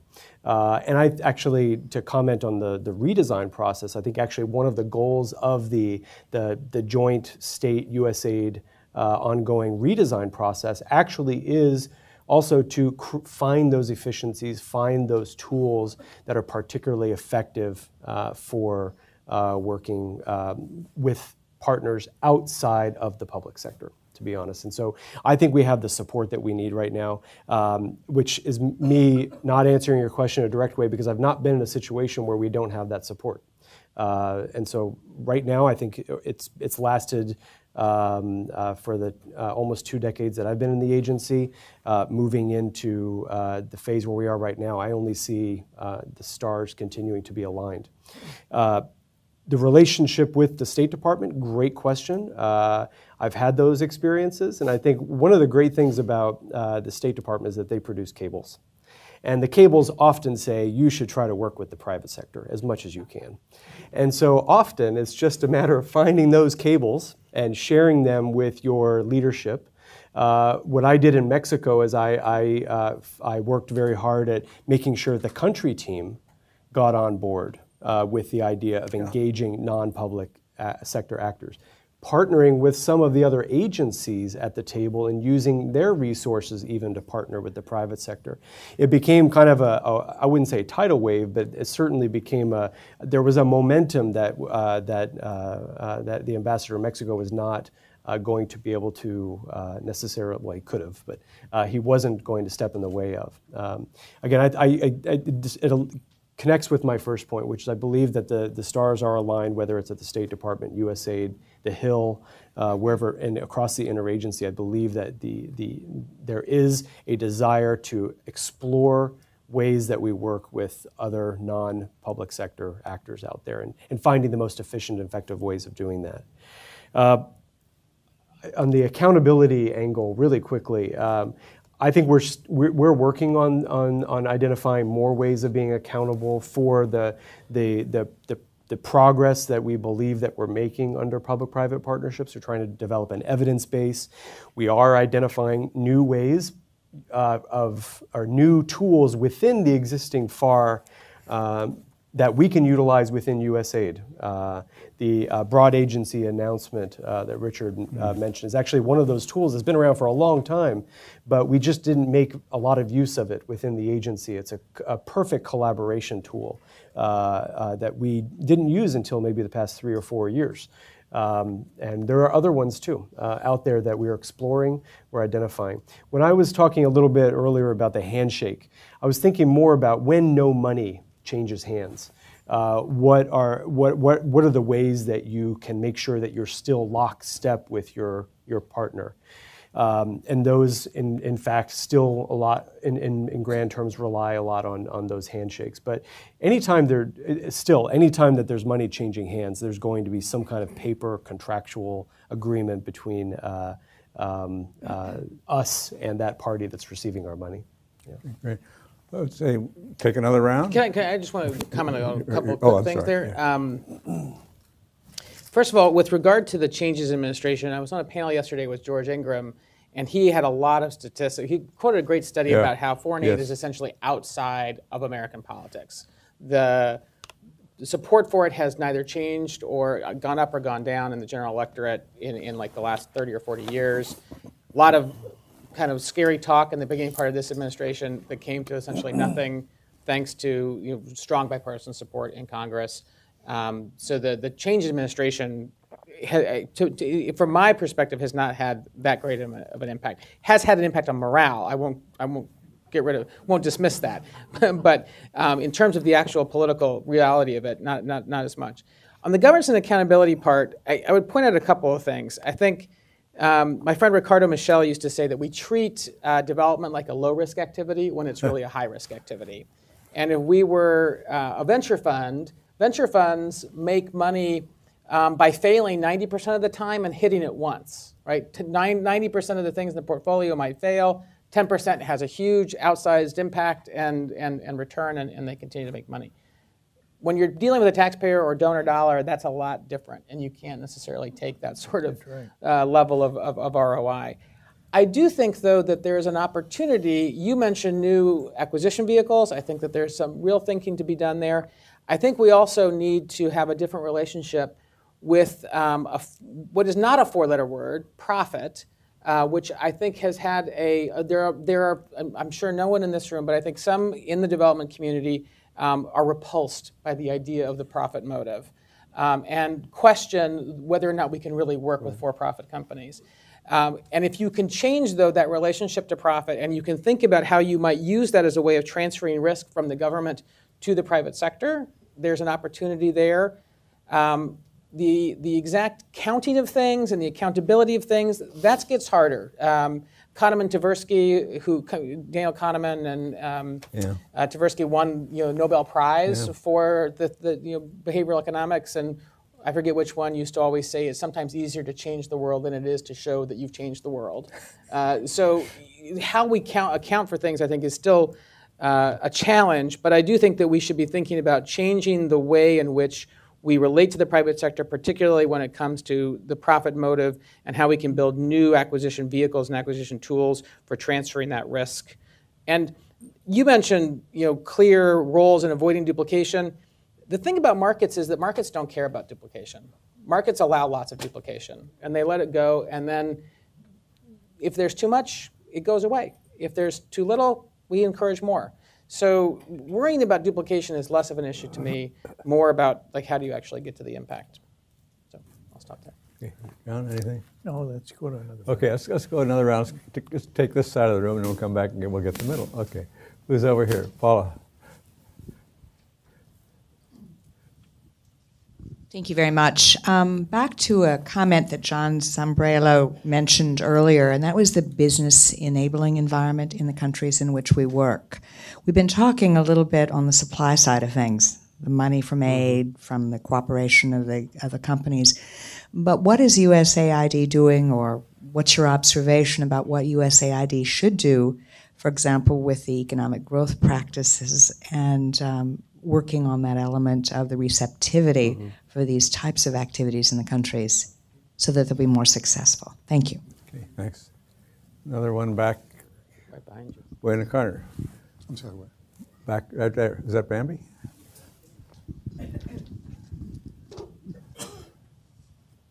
Thank you. Um, this is a very, very nitty gritty question, but I think it go, it's right at the heart of the point that you made, Sean, about taking this out to the missions. And um, uh, if those of us that come out of the GDA and DLI era of management, um, what we saw was, and I think this is one of the reasons Administrator Fore coupled those two things together as her two goals, um, was the tremendous management intensive nature of public private partnerships, be they ones that come to fruition or the very high percentage that never do. Um, working with the indigenous private sector has been one of the reasons that our regulations on both DCA and GDA got longer and longer and longer. um, you know, of the seven GDAs that I inherited in Peru, six of them produced, you know, 200 page audit reports. Um, The concern I have right now, and this is the nitty gritty part, is the freeze on staffing. What do you do when you're no longer hiring people to do the work that is required for these partnerships, which are so satisfying and so, you know, forward looking? But what do you do in the case we're now in? Thanks. Okay, one more. Okay, Marilyn? Thank you. This is just playing a little back into basics, you mentioned that, you know, USAID is still. uh, Wait, wait, here comes the microphone. USAID is still considered a leader, I would agree. And one of the big things is that USAID has, you know, had these evaluation measures, such as the project measures, such mm-hmm. as FEWS, which plays very much in food security. It seems to me that these are very important, and when you talk about something like any kind of partnership, this should be part of the ecological environment. So I'd like to know, how do you um, protect those measures? And they do play a role sometimes in creating demand too, because people see what the problem is, and then they realize they have to do something. Okay, thanks. There's three. Uh, I think we should probably be going, uh, because these are really about the, cur- the, the present situation. What do we do now? So Sean, why don't Sure. you, you take the lead and we'll, we'll go down the line. Sure. Well, uh, to Paula's point, I think that policy reform, uh, the enabling environment for business growth, uh, for um, the free flow of capital, uh, is going to remain paramount for USAID programs, should remain paramount uh, for USAID programs in every country in which we're working. I don't believe we can get to the point of what Administrator Green calls uh, strategic transition, which is which in some cases may be defined as graduation from a country, but most often it means just moving, changing the relationship over time with a developing country. You can't have that change uh, in a relationship in a country if the private sector is still uh, uh, restricted, forbidden from making a profit, controlled by the state, um, not allowed to import the most innovative ideas and, and technologies. Um, so I do believe that uh, the economic policy reform work that we've become uh, really good at doing and continue to do in most places should remain paramount uh, for, for, for USAID programs overseas. Um, the uh, it, it is uh, Bambi. The, the it is management intensive. Absolutely. I think for I, I don't have statistics on this, but I'm just going to put out there that it's probably for every one public or private sector relationship that turns into something, you're probably actually talking to seven to ten companies or organizations. That is a lot of time that may or may not result in anything that is, an, that is a, a tremendous burden on the existing staff uh, of uh, our missions, but also our, our headquarters staff back here in Washington to, to cultivate and manage those relationships. I think the one weakness of that relationship management approach that I mentioned earlier on is, is that it, it, it, fun, it requires that how we spend our time on a daily basis uh, changes, that the formula uh, and how we, we focus our energies when we wake up in the morning and we come into the office or not in the office, being out there, uh, changes. Uh, and I'm not, we haven't figured that out yet. That, that's part of that experimentation phase. During a hiring freeze, I do believe that what is suffering more than uh, other things is are the partnerships. Unfortunately, I think we have contracts and grants and programs that we need to manage. There's a fiduciary responsibility of managing taxpayer funds. Uh, in, that is still going to remain the priority, even if you stop referring your, to yourself as an AOR, COR when, you, when, when somebody asks you. Uh, but your, your responsibility is to manage those taxpayer funds well and, and represent your country effectively overseas. I, I think the, what falls off, unfortunately, is you know, as you lose one staff and then another staff, uh, and then by the end of a year, you're down 10% of your staff in a mission, or uh, 15% of your staff have departed in a bureau. Uh, unfortunately, I think the core, or fortunately, the core responsibilities are sto- still going to be addressed. I think it is these, these, these partnerships that, uh, unfortunately, you're just not going to be able to spend as much time and invest as much time in. Um, on the man, or sorry, on the on the what I would term an evidence-driven culture that we've built inside USAID, I do believe that they are entering the picture with our public-private partnerships. One of the things, in addition to our global presence, uh, our development knowledge that we do have, one of the things that, that most organizations are coming to us for is, is access to the, the systems and the data that our, us and our partners have, have created and that we own and that we hold. And we, they'd like to partner to share, to either share their information and complement ours and, uh, or vice versa. Uh, and I think that's actually going to continue. I think, I, I think the fact that we're an evidence driven organization now more than ever in our history uh, is actually a selling point for continuing and expanding these public private partnerships. I'm um, just really quickly, I'll add um, my organization is called Collaborate Up, so it might seem ironic for me to say one of the things we always tell our clients is if you can do it without collaboration, you should. Um, collaboration is expensive, it's timely, uh, time consuming, um, and it's complicated. So uh, you're right, it, it's very management intensive, and because of that, we often, we really say you should only collaborate on those things that really require collective action. So when it comes back to being evidence based, the question I think we should ask ourselves is did this thing really require collaboration in the first place? If it did, and I've just spent the last three weeks locked in rooms in the Ronald Reagan building working on MENL plans for collective action. Uh, the question that we're trying to build into those MENL plans is did the act of collaboration actually accelerate or improve the impact in some way? And looking for how to build in those sort yeah. of evidence based measures mm. to do that. Um, and the, but it, I think it starts with that gating question did this need collaboration in the first place? And if it did, how can we show that the act of collaboration uh, accelerated the impact? I'd like to just uh, pick up on what Paula said again on the enabling environment. This is just not important, it's fundamental. Uh, and it's why programs need to be mission based because every country is different. Mm-hmm. Uh, and you just look at uh, the World Bank series of doing business in countries, which give you a perfect analytic framework. Uh, if I understand it correctly, they were inspired by USAID uh, the bank was uh, urged to do those types of things. It's how you translate that into action.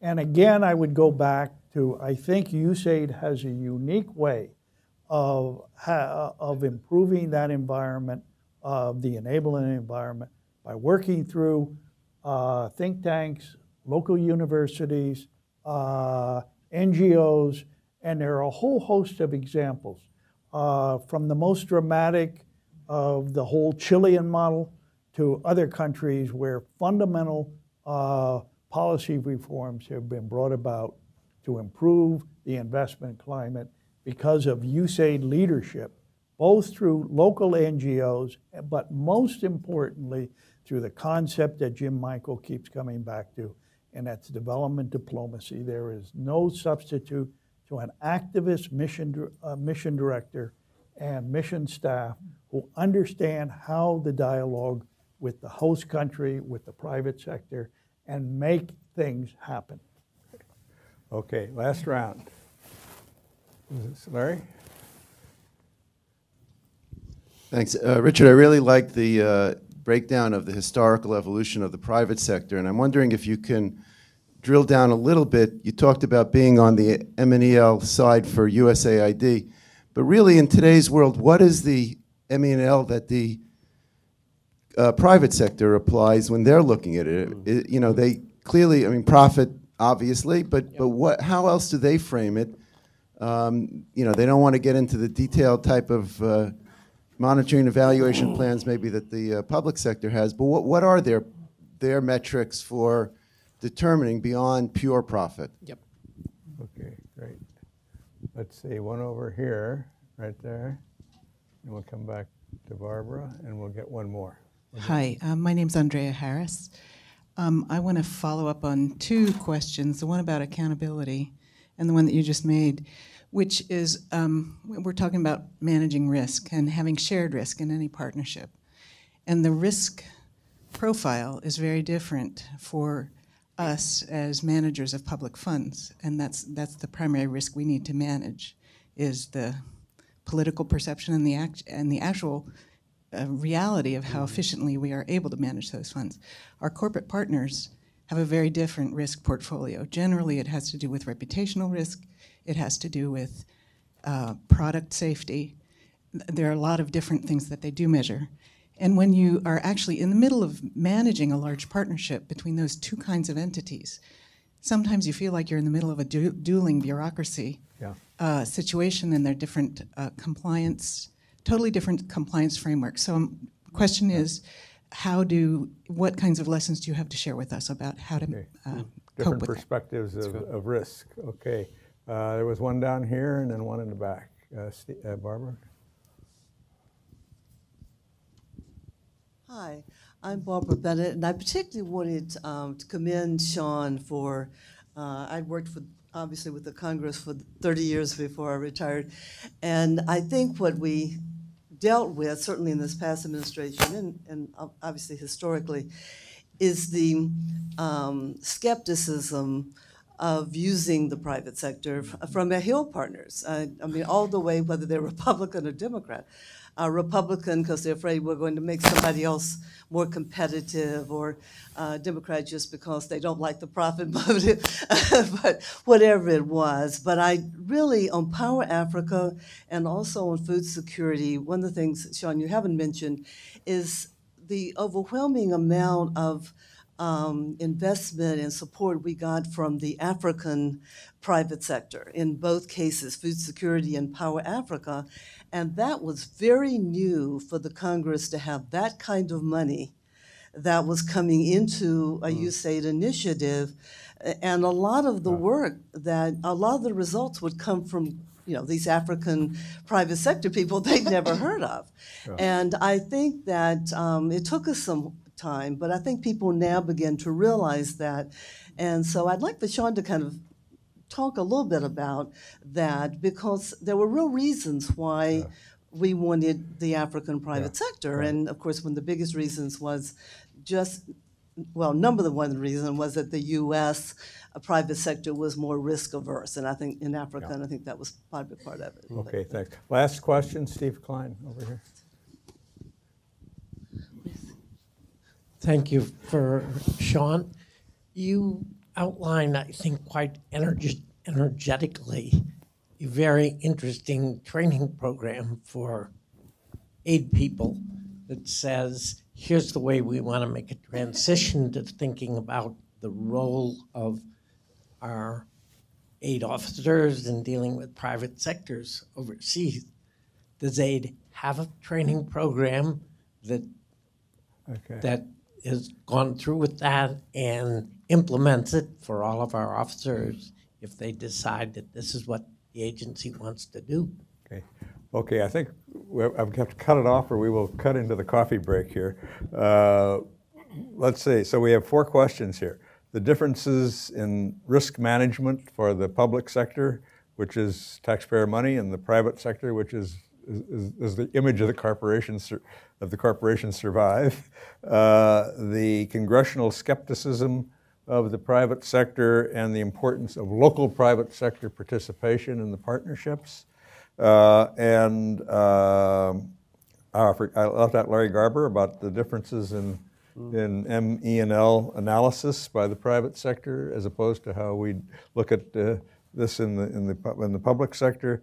And finally, uh, training for the new paradigm. Okay. So, we'll go So. I- I'll, I'll go first. Um, so first of all, I'll stay, start off with a bunch of caveats. And my first caveat will be that, again, like I said at the beginning, not all private sector is the same, not all companies are the same.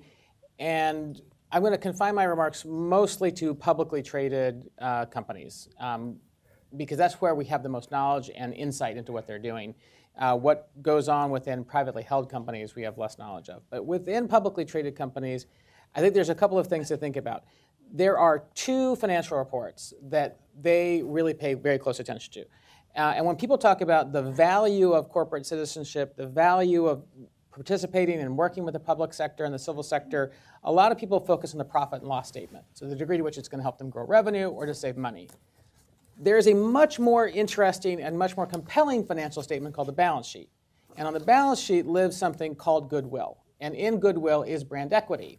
And that is the difference. In fact, most of about, you know, if you look at the, at the book value of a company like Apple or of Coca-Cola, the book value, which is if you added up all the stuff that they own, it's less than 20% of the, the, the total stock value, the publicly traded value of the company. So that goodwill, that brand perception, that's what they're trading on. That's what their CEO is compensated on. Most of the compensation is in stock, not in cash.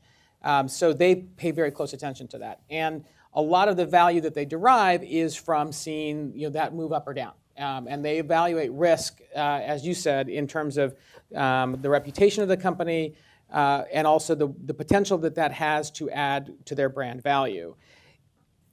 I would also say that with companies, the more regulated they are, the more close their relationship is with the government, the more they understand government. The less they hmm. are, the less they do. So Silicon Valley has less of an understanding, less of a pattern recognition for what you guys do. Aviation, other government contractors, pharmaceuticals, healthcare, they have more of a pattern recognition because they're used to dealing with government and they can see it and they evaluate it probably in similar terms to what you do. Uh, what I would suggest is really like thinking about looking at um, they publish a lot of this information. They have corporate citizenship reports, they have annual reports. They're telegraphing what their interests are. And I think what you're looking for are companies that are um, pursuing uh, growth opportunities in the developing world. And they're going to publicize that, number one, and they're going to evaluate in a different way. And what they're looking for are access to markets, the ability to reach customers that they wouldn't have been able to reach alone, bridging to those markets because there's some barrier, that's some cost barrier or something else that's standing in their way, um, or they're, in, they're worried about freedom to operate uh, in, those, in those environments. Um, and those are the factors that they're looking to evaluate. So I'll stop there. Sean. Sure. Um, so I'll, I'll hit the easy one first. Training okay. pro. Well, it's not easy, but uh, yeah. training program. Uh, so I, th- I, think there is a uh, a process underway right now to re-envision the way that officers are trained. There have been the traditional economic growth officers training. There's been partnerships training. There is lab training um, as a bureau that has its own suite of tools. Uh, but I don't think it, it, it, still doesn't come together in, in some of the ways that I've been talking about it today. And I think it's going to take a little bit more time. Um, I think as uh, Administrator Green articulates his uh, vision for how some of these things and other things will come together, I think that will ultimately influence uh, the training program, but I'm not sure it's going to happen that quickly. To, just to be honest with you, I think there, there was two there were two questions that I think are somewhat related on risk profiles um, uh, between the go- public sector and the private sector. Uh, they are different, absolutely. And then, and then with the, the Hills skepticism of working with the private sector and how have the resources of the, the local private sector changed their minds. I think what changed their minds is the, the, um, the, the, the recognition that there were that first of all there are multi-billion dollar multinational companies outside of our borders. Um, i think also the fact that they came together and they're willing to put something on the table. Uh, and in some cases there was they weren't receiving in most cases they weren't receiving anything from us. Rather it was truly a strategic partnership of we've identified we and others have identified a common problem. We're all going to attack it in a different way um, I think that that reflection of others willing to take on that risk is changing minds about, and I, I think it really is uh, uh, changing the, the way that, that our appropriators, our, our authorizers, and our stakeholders view us in this space and, and vice versa. Um, me, I have two really quick examples of how this is all coming together, and it does reflect that risk as well. So, um, Administrator Green, just two and a half weeks ago, he announced um, something called the Fall Armyworm Alliance. Uh, fall armyworm is, a, is a, a, little worm that we have here in the US. It's in South America as well, but it's just recently uh, arrived in Africa. It has the, the ability to devastate uh, Africa's agricultural sector, uh, wiping out crops everywhere, anywhere from you know 40 to 75 percent, if you can imagine a hit like that. Africa, and, and it's it's moving at light lightning speed. Africa currently doesn't have the ability to deal with it, and so Administrator Green, he went to the World Food Prize in Iowa a couple weeks ago, and he asked all the multinationals, the donors, the rich folks who are out there, hey, let's work together on this common problem.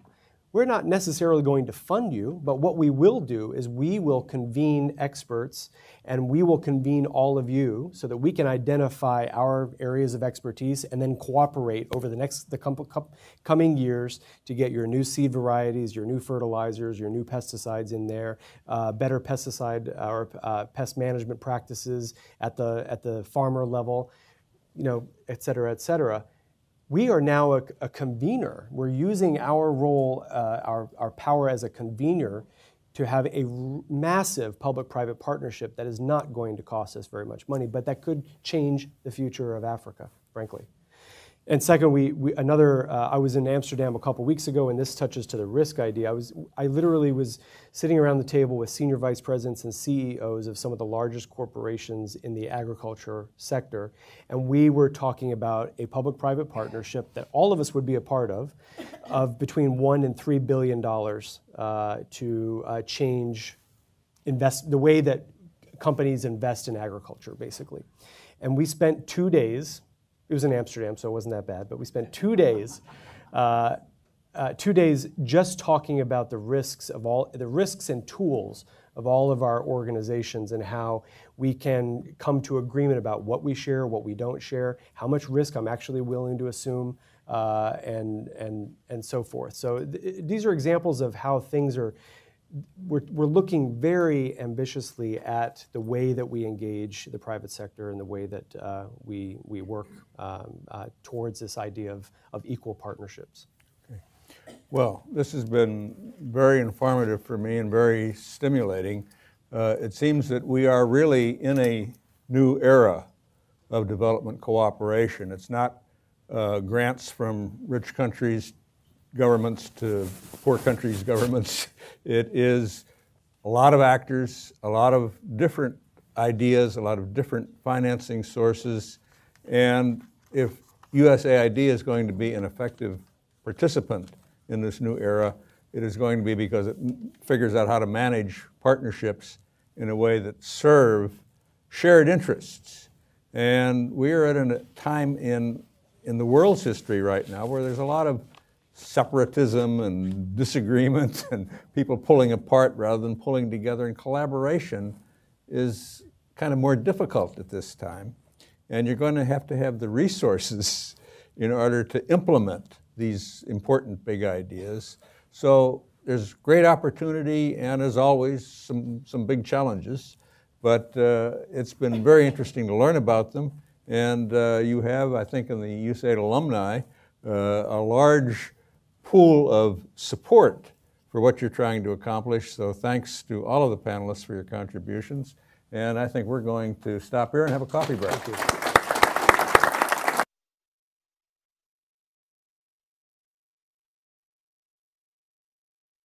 It's a very rich discussion. Um, now we go to coffee break and uh, discussions and catching up with others. There is, uh, I want to note that uh, Sean Jones brought uh, a stack of pamphlets on Feed the Future Snapshot Progress through 2017. Their stack will be out on the table where the other handouts are. If you want to pick it up, and please um, enjoy your coffee, but please do be back in your seat by 11 before 11:30. Okay, thanks.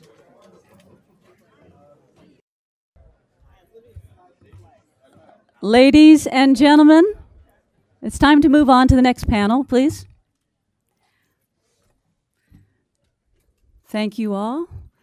We are excited to have uh, our second panel, which is um, parallel in quality, uh, but a slightly different focus. This is on the focus on USAID and university partnerships. Um, as someone just told me, this this is the discussion of, and in fact, maybe the uh, enabling environment for the other the other um, kinds of private sector partnerships. Uh, and we are very fortunate to have with us today Montague Demment, also known as TAG Demment. um, TAG is the Vice President of International Programs at the Association of Public and Land Grant Universities, AP, APLU, and an Emeritus Professor at the University of California, Davis. Um, he's also the architect of APLU's Africa U.S. Higher Education Initiative.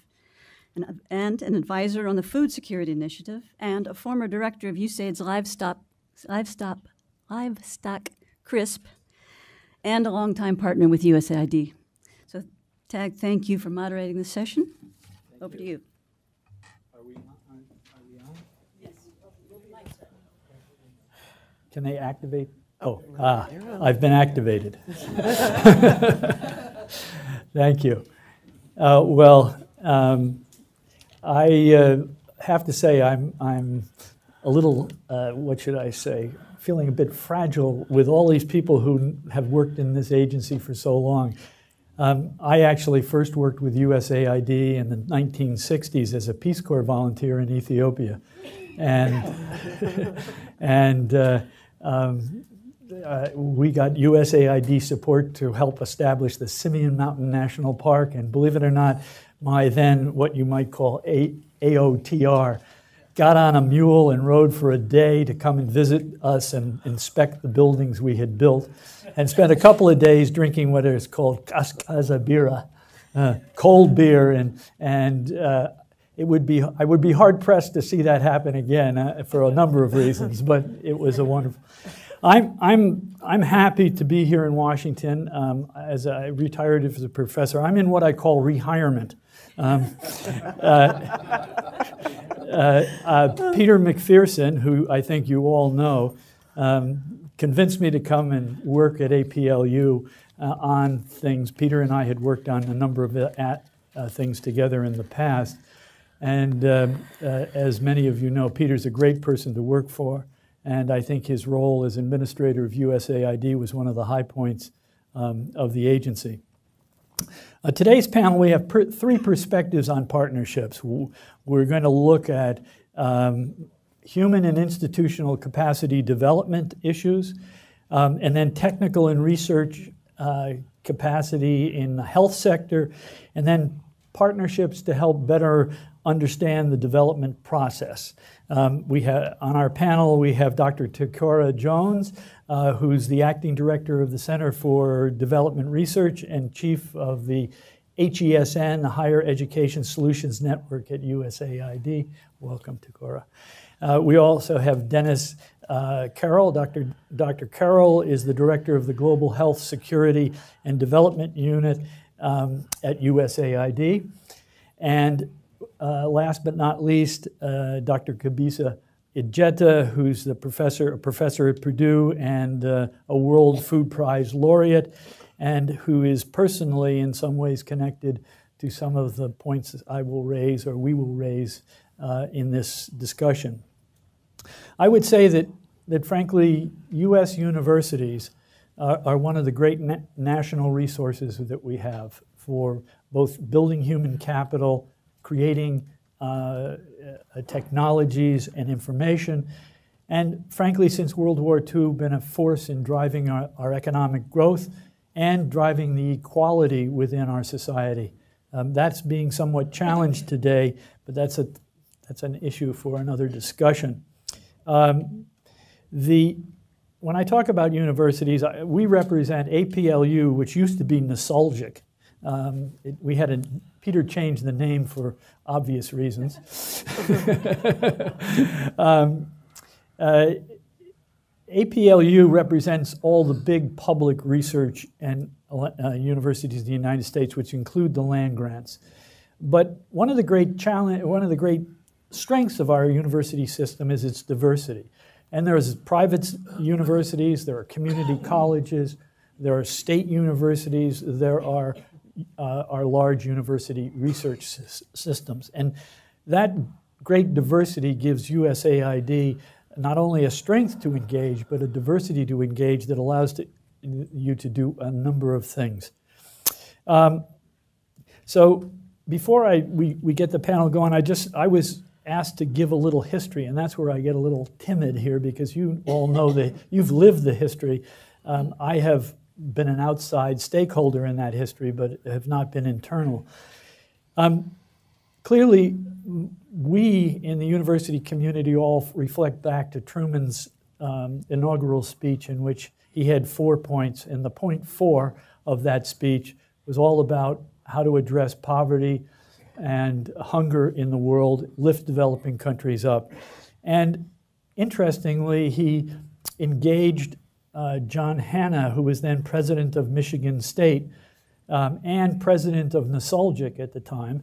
And Hannah, who later became administrator, as you know, um, embraced this and said, okay, we're ready to do something about this. And particularly, it was focused at that point on agriculture.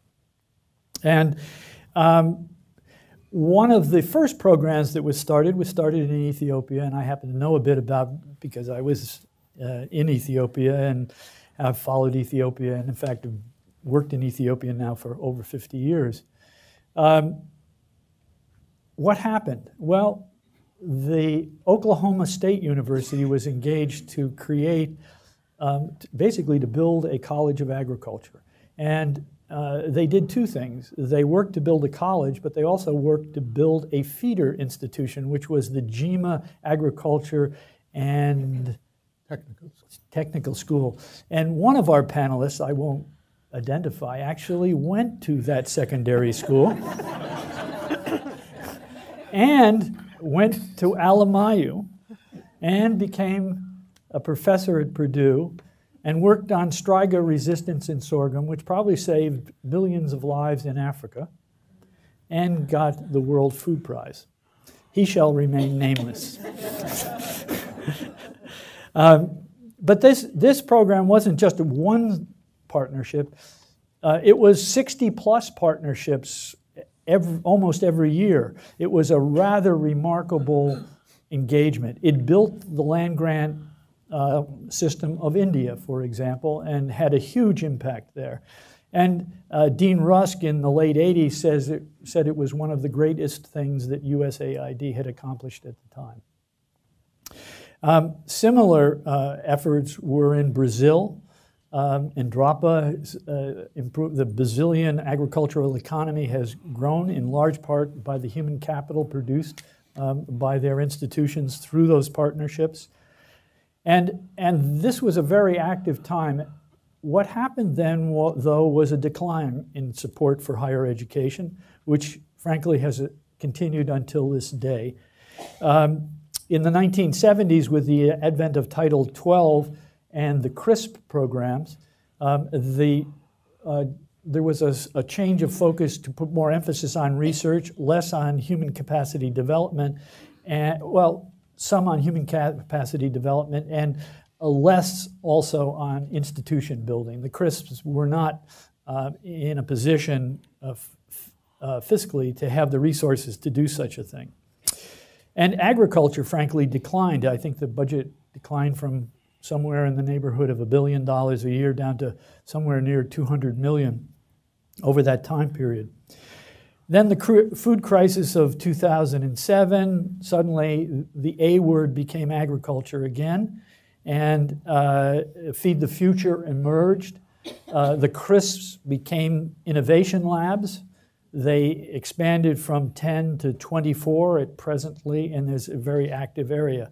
I would also say, in, in going back a bit, that, that the 60 partnerships that I identified were not just in agriculture, they were in engineering, they were in health. They were broad based attempts to increase higher education broadly.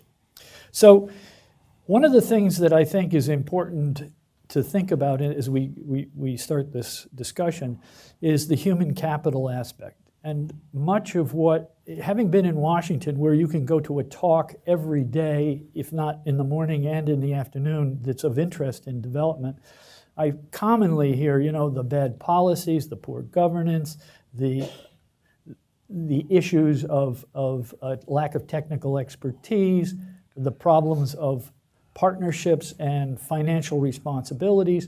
These are really problems of human capital. And human capital is so fundamental to development, yet I, I would love to see a, a greater focus on human capital development because frankly, what sustains everything that AID does in the long run depends upon when the project leaves, the people who are left behind. And so the absence or the real uh, loss of interest in higher education that trains the people who become the entrepreneurs, the policymakers, who make partnerships work in the country, who build the local institutions. Uh, this is something that is somewhat absent um, from the uh, USAID portfolio. So we are, um, we are now going to uh, look at partnerships from uh, the perspective of USAID and universities. We're going to talk a little bit about the, the human capacity and institutional component, uh, using universities as research uh, uh um, uh, collaborators to uh, work in the health area, and to use universities' expertise in improving the the science of development um, through those partnerships. So I will start with uh, Dr. Ejeta and uh, ask you to, to give us a little bit of a, a, perspective from your position, both professionally and personally, on human and institutional capacity development. Uh, thank you, Tag. Uh, as Tag indicated earlier, uh, my primary qualification to be here is that I was once a recipient of this valuable education as part of the USAID program. And at different places, I have spoken every chance I get about what that had meant to me personally, what it meant to my country, what it had meant to uh, other nations and people when the opportunity was given a chance. Um, um, but uh, I did that with a lot of energy, if not with sufficient eloquence. But it's truly humbling and um, to be here in front of you and to be able to retell this story from my perspective, a story that you, you all know very well. Um, I consider myself actually a product of the Point Four program. Uh, splitting hair here, but mainly because both institutions, uh, the high school I went to and the college I went to, were, were both built by Oklahoma State University as part of the original Point Four program uh, in 1954. And, but as luck would have it, all of my education has also been supported by the U.S. Agency for International Development. All of my education took place actually during the USAID era. I went to the high school in 1964, went to college in 68, came to graduate school at Purdue uh, by sheer coincidence, recruited by a professor who had a bilateral program with USAID and recruited me and gave me assistantship on the USAID project. So all of my education that really had given me the foundation to become the kind of professional that I have had the opportunity to be was really foundationally was by the U.S. Agency for International Development. And so, as I indicated earlier, every chance I get, I have tried to speak very uh, strongly about what that had meant to me. Uh, but this is really the first chance that I have a chance um, to, to, to speak in front of individuals that have served the US government uh, as employees of USAID and made a difference in the lives of so many people, uh, such as mine. And so it's, it's a wonderful opportunity to, to be here. And, and every time I speak, even though my professional opportunities came as a result of the graduate program I had at Purdue University or the college degree that I received at Purdue, but really, the most transformative part of the opportunity that gave me um, a once in a lifetime was the high school education I received. Uh, I walked 20 kilometers to school in elementary school. We go uh, on a Sunday and come back on a Friday, and there was no school where I grew up in. And so the next high school will have been about 125 kilometers from where I lived. And there's no way I could walk that. and so I'd heard about this school in the western part of the country There are about four boarding schools at a time in Ethiopia one in commerce, one in technical school, and then two in agriculture. The one was supported by the Ethiopian government, the other one by US government. So I was t- tipped by someone to choose as number one this school far away from where I live uh, because of the reputation this school is already having in the country at the time. And that was Jimma Agriculture Technical School that Oklahoma State University uh, put up. They put it up because uh, they started recruiting people to come and study agriculture. Well, young kids at that stage, uh, running away from the farm, didn't want to go study agriculture. And so they, they, they, they put together this feeder program, and as it turned out, they raised their own crop, the better students went to college, and then the rest of us the rest of the, uh, that didn't go to go to college will go to be extension service agents and serve the Ministry of Agriculture. It was a very brilliant idea. It worked out because it met the timely, it met the needs of the people. The reason, and why, I, just to personalize it to you, and those of you who have worked in developing countries would know this very, very well. The night before I took my bus ride to Jimma and Jimma Agriculture Technical School. I spent in my mother's hut, sleeping on a mat on the floor. The next day, a bus ride would take me to Jimma Agriculture Technical School. I have my first bed. And not only that, a clean white sheet accompanied that. And my life has never been the same since then. And so, talk about getting out of poverty, I already did at that time. And, and to this day, my sentiment and the sentiment of people who went to that school with me, and, and the gratitude and, and, and the loyalty we feel to the program is, is, is exactly the same. So, as I said, I've spoken to other people. But this is the first chance that I have a chance to speak to you who represented the agency that gave me the opportunity. And as I speak about the agency, I also say that in terms of US foreign policy, governments come and go, parties change.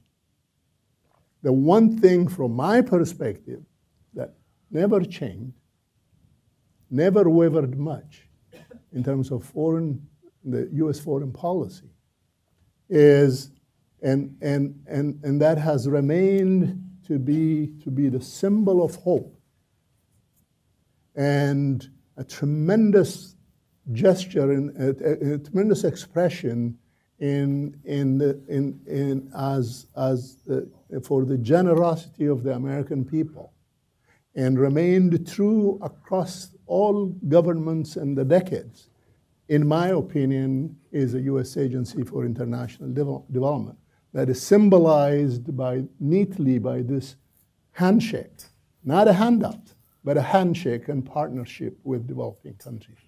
As a result of that point number four, a bold new program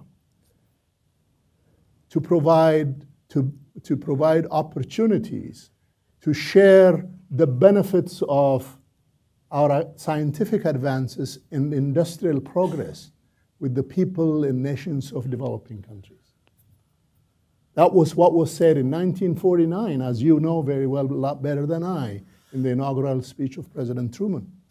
Repeated, sustained across many leaders, and connected, as you remember too, in 2008 when Pro President Obama said, We'll work alongside of you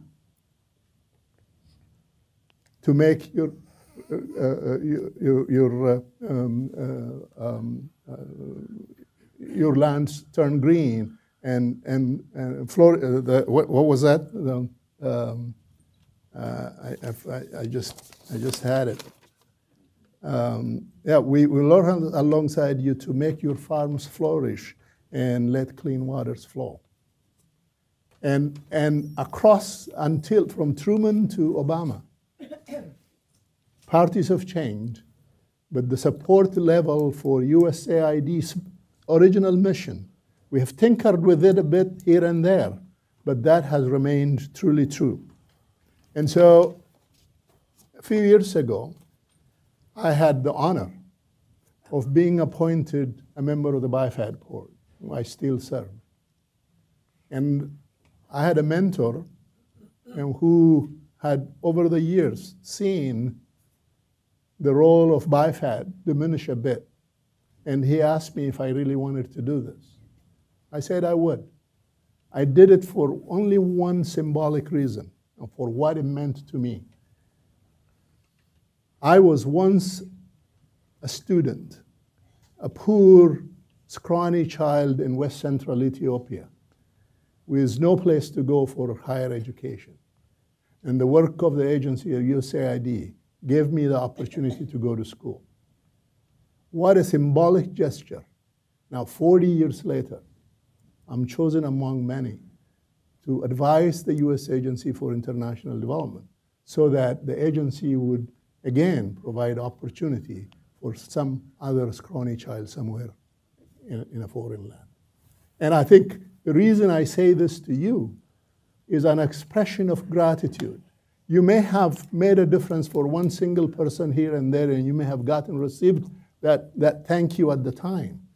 But I am trying to tell you here, sitting in front of you, on behalf of so many that have been affected by the work that you have done, by the work that this agency continues to do, with all the criticisms that come and go at it and coming at it, has been so tremendous for so many people.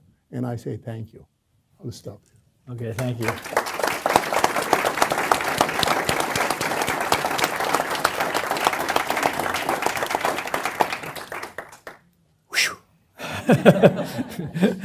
uh, Dennis, I.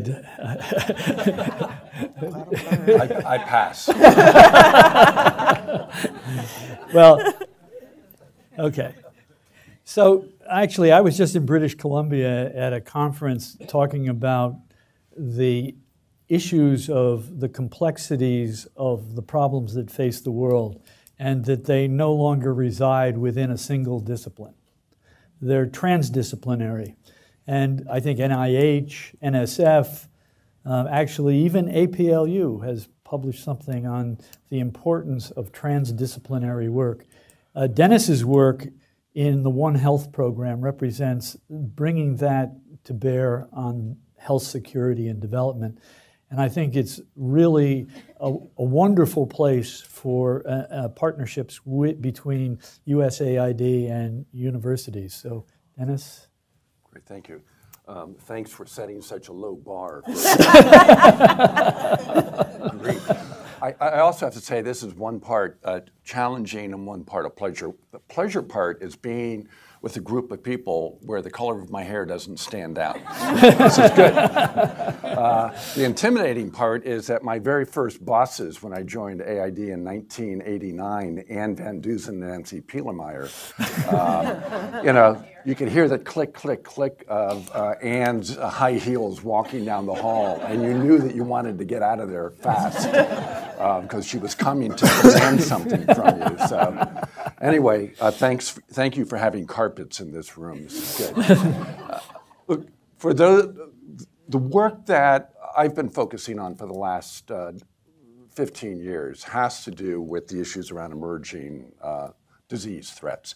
And one of the seminal sort of take home uh, realities about emerging threats, certainly um, emerging viral threats, and even uh, issues around antibiotic resistance, is you know, we have historically um, focused on those events with as they play themselves out in people, the index case and then onwards. What are the health systems' uh, capacities to be able to deal with those events? But as I entered into this arena uh, 15 or so years ago, it was clear that uh, Mother Nature was much more challenging um, than one might imagine, and that the index case in a human was largely sort of almost the endpoint of a very complex evolutionary process that began further upstream. And so, whether we're talking about antibiotic resistance or we're talking about emerging viral diseases, uh, to really understand the risks and to really have maximum capability to preempt those risks, not just respond to them. It's really um, thinking about public health with a much larger chapeau, that you need to understand it from a much broader ecologic profile, that animals, environment, and people share a common space, and that those microbes that we're concerned about on the one hand, we say they know no boundaries, right? And we think about geography, but they also know no special boundaries. And if we are going to really uh, make an impact on those threats, we need to open up the gauge and pay attention to those events before they come into before they hit people. And that's the beauty of being at USAID, because AID is fundamentally a development agency that focuses on multi-sectoral challenges. So as, as both Ann um, Nancy knows that my, my first iteration here was with CDC. CDC is a great organization, but it is a public health organization. If you really want to tackle the challenges of these multi, inherently multi-sectoral uh, threats, you need a multi-sectoral approach towards it. And AID, by virtue of its development footprint, is the most beautiful multi-sectoral global institution anywhere. Um, you can't find another example that is as potentially impactful as USAID. Our ability to work in education, to uh, public health, to agriculture, economic growth, environment. It speaks to those inherent multi-sectoral issues. So as we think about how we respond to emerging diseases, and we think about inherently not just the systems that need to be in place that are multi-sectoral, but the workforce that needs to be in place has to be multi-sectoral. And so as we moved into this space, another beauty of AID being a development agency is that we can take the long view. We can talk about what's that next generation need to look like. And as a consequence, we can invest in people today that will be the leaders tomorrow and ask what are the skills and competencies they need when they pop out on that far side. Whether they end up in public sector, private sector is a moot point.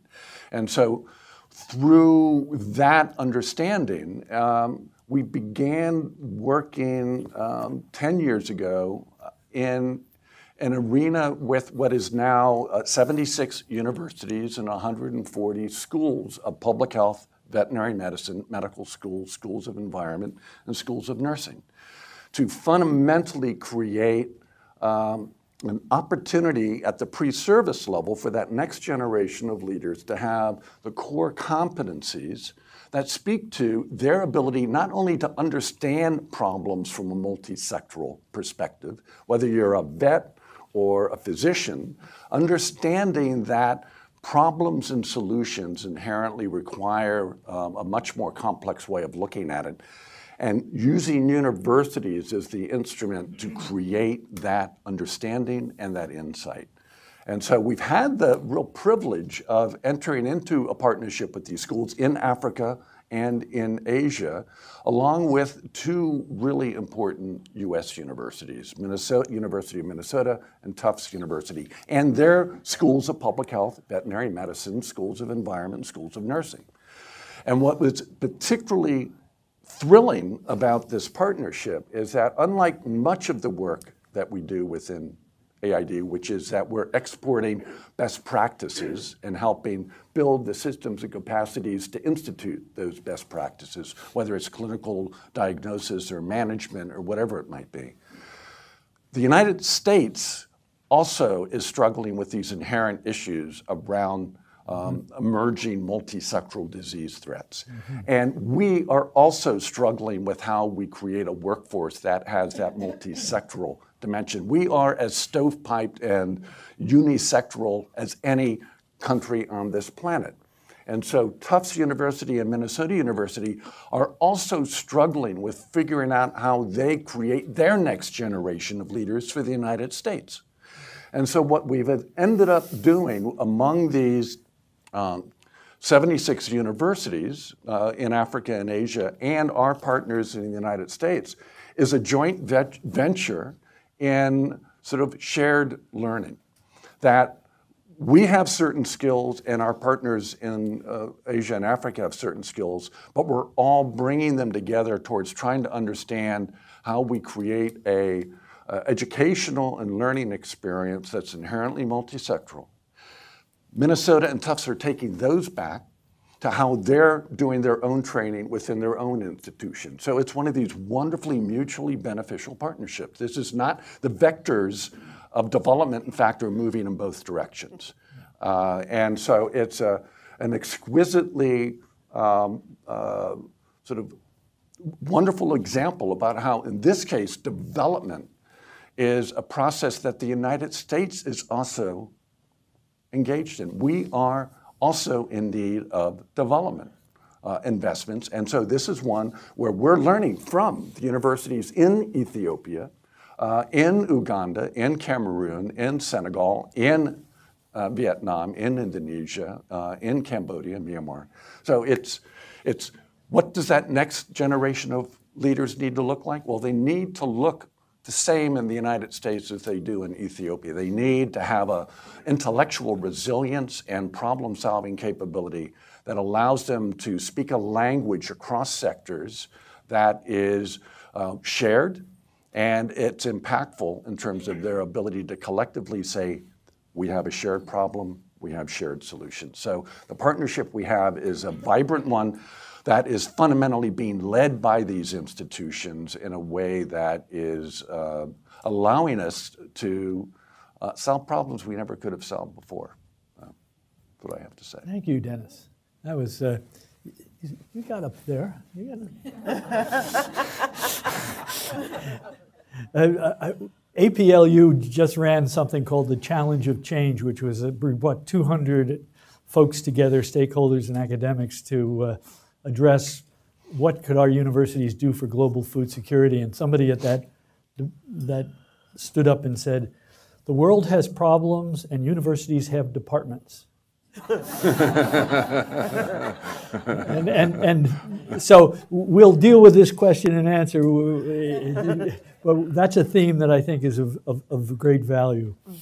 Uh, Ticora Jones is working in the area with universities. Uh, uh, trying to tap into their expertise to try to look at what I guess I could call, is it fair to call it development science? Is that fair to say? call it that. We can call it other things. We'll okay, discuss. you will call it other things. We'll so discuss. I'll let her clarify. But it's it's a different twist that has has uh, emerged with, with the Obama administration. And Ticora? Sure. Thank you. Um, I look out and I see all of these wonderful faces that I used to see around the halls of the Ronald Reagan building. And it's like, oh, wait. Um, which means that I've been there long enough. We have, I haven't hit a decade yet, but we are well over um, five years. And um, while I might not have the gray, I, I feel like the the organization has aged me in a way that on some days it's incredibly valuable because you know you see things and you feel like you have seen them before and on other days you just want to go home and go to sleep but thank you all for all of your service um, it is such a pleasure to be here with each one of you and thank each of you for your comments on this panel um, as dennis said you set a very low bar. Dennis. Very low, very low. but your, your um, your story and the inspiration within that story is, is part of what I think motivates a lot of the work that happens within the Center for Development Research. So I am in the U.S. Global Development Lab, that upstart organization that started about three, four years ago. Um, but before that, it was the Office of Science and Technology and the Innovation Development Alliance's office. And so, depending on when you retired, that might be what you are familiar with in, in terms of these these upstart people who are like, "What? What? What are you doing?" Um, and and and within it, I think part of what we originally wanted to help reinvigorate was um, the ability for us to find ways to support all of the different ways science and research and technology were happening around the agency. Dennis is but one person with a fabulous program, but how can we make sure that there are more who can do the kinds of things that he's doing in this kind of transdisciplinary way, um, who can support the, the types of multidisciplinary work that can happen um, when you are working to build a global, global citizenry that is focused on um, science and research and education and ultimately having impact within, within the world. You know, the Center for Development Research is focused primarily on finding ways to help us as an agency drive research to impact.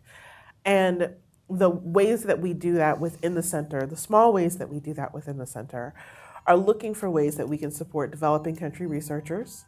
Um, oh, what is what is happening? Oh, okay, sorry. That's not a ring I'm familiar with.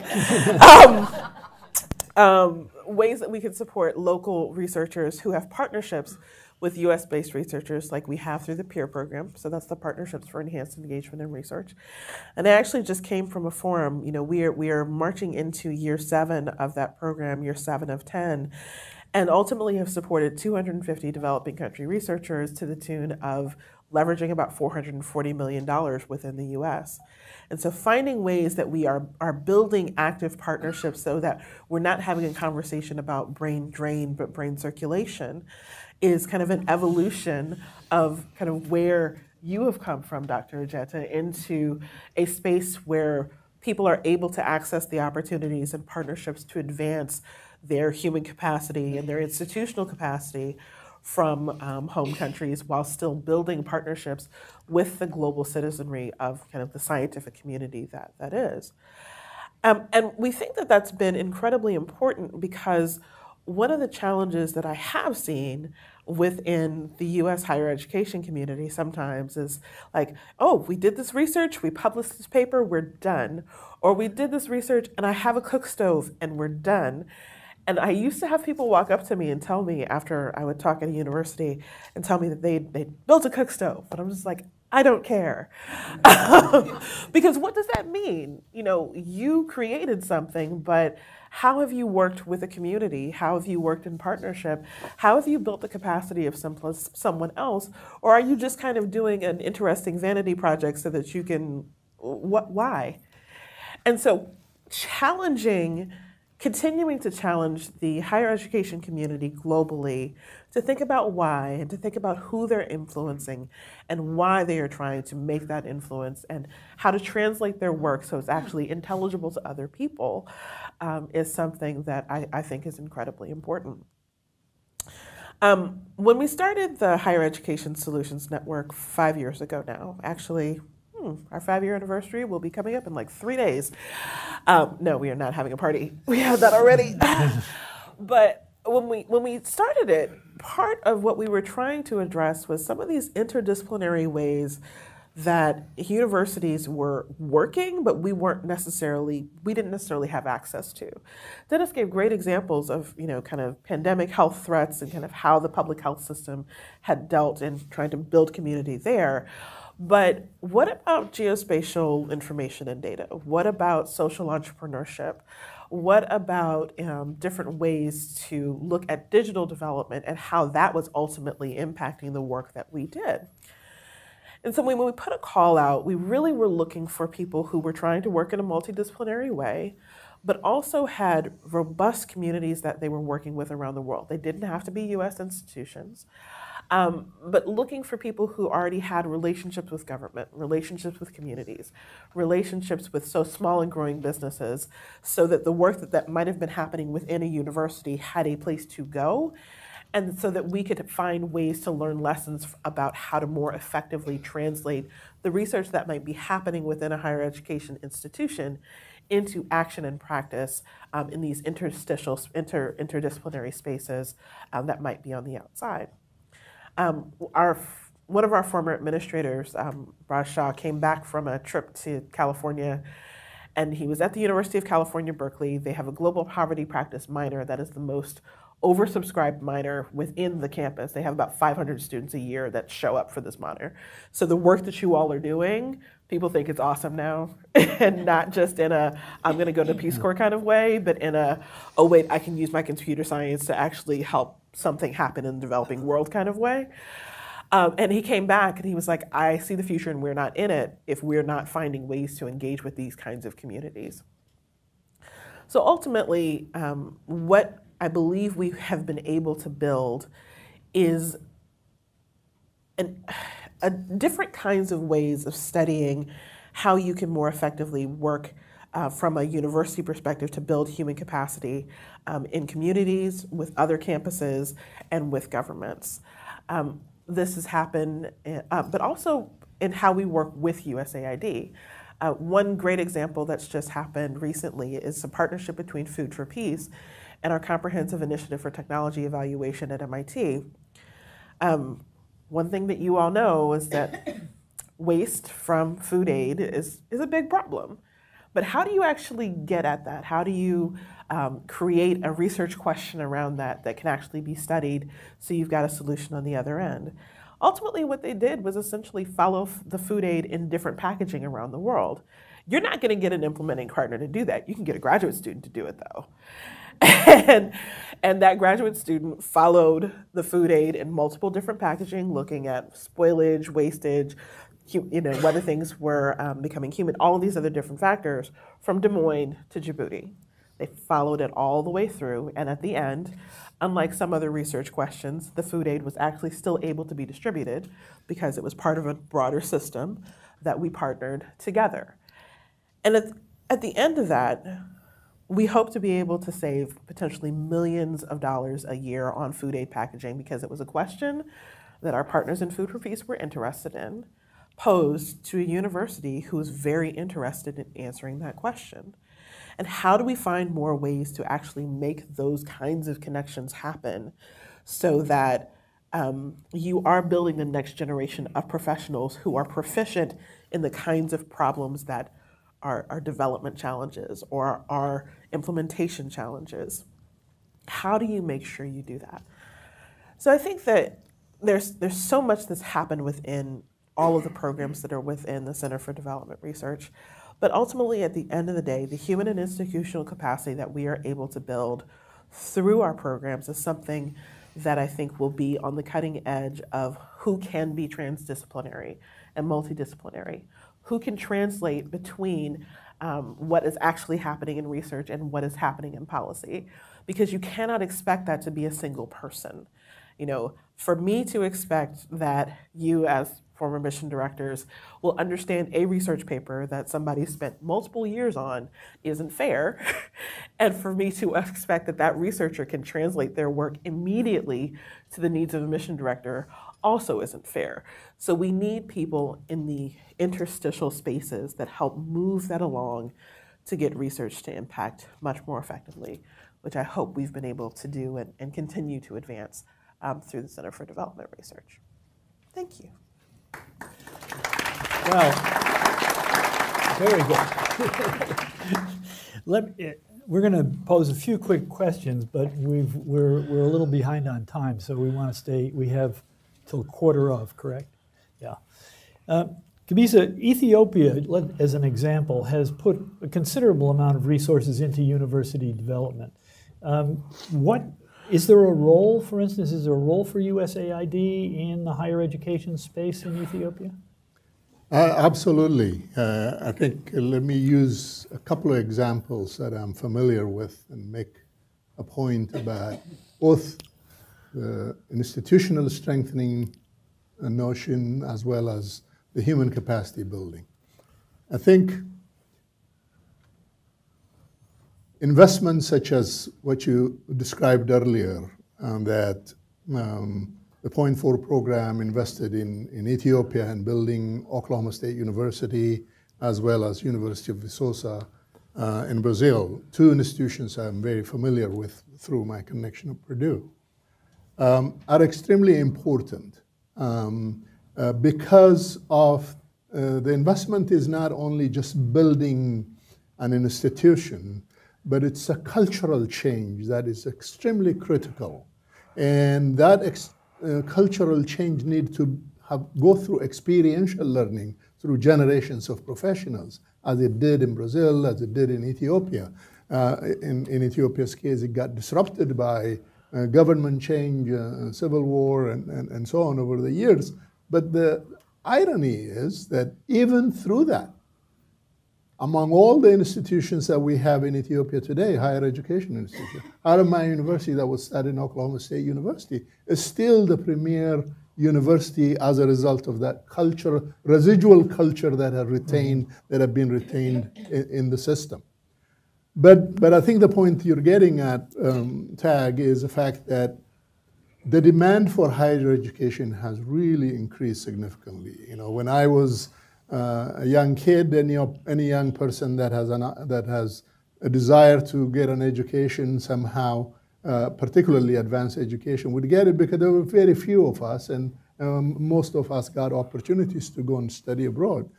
But now, uh, just using Ethiopia as an example, in the last 15 years, Ethiopia has gone from four universities to over 42, 44 universities today. And on the positive side, more and more of poor kids from rural Ethiopia are getting an opportunity to go to college. But at the same time, the quality of that, uh, that education had gone down. And there is no, people are getting certificates for finishing school, and the notion that people get a job because they have diplomas, not necessarily skill sets. And so many of the kids that are being trained don't have the skill set that employers require. When the primary employer was the Ethiopian government, uh, people get jobs and somehow struggle through that. And now there are private opportunities that are coming up, and they're a lot more discriminating about the kind of people that they want to hire. So Ethiopia is not alone by itself. That all over Africa, the two prominent things that have changed in the last 20, 15 years are really expansion in higher education and expansion in infrastructure development. And through this higher education expansion, there is a huge need for uh, strengthening these institutions um, through some mode. And whether it is old sister university concept that we had with Oklahoma working with uh, University or Purdue working with Viçosa or some other center of excellence concept, there is an absolute need to, to, to eh, bring about new culture and leapfrog the painful experience that these institutions are going through, and then in the process, produce so many graduates that are ill qualified for the job, and these are the, going to be the future leaders of the country. And, and, and, and having these kinds of people in those positions is not good for anybody, and for the country as well as for others.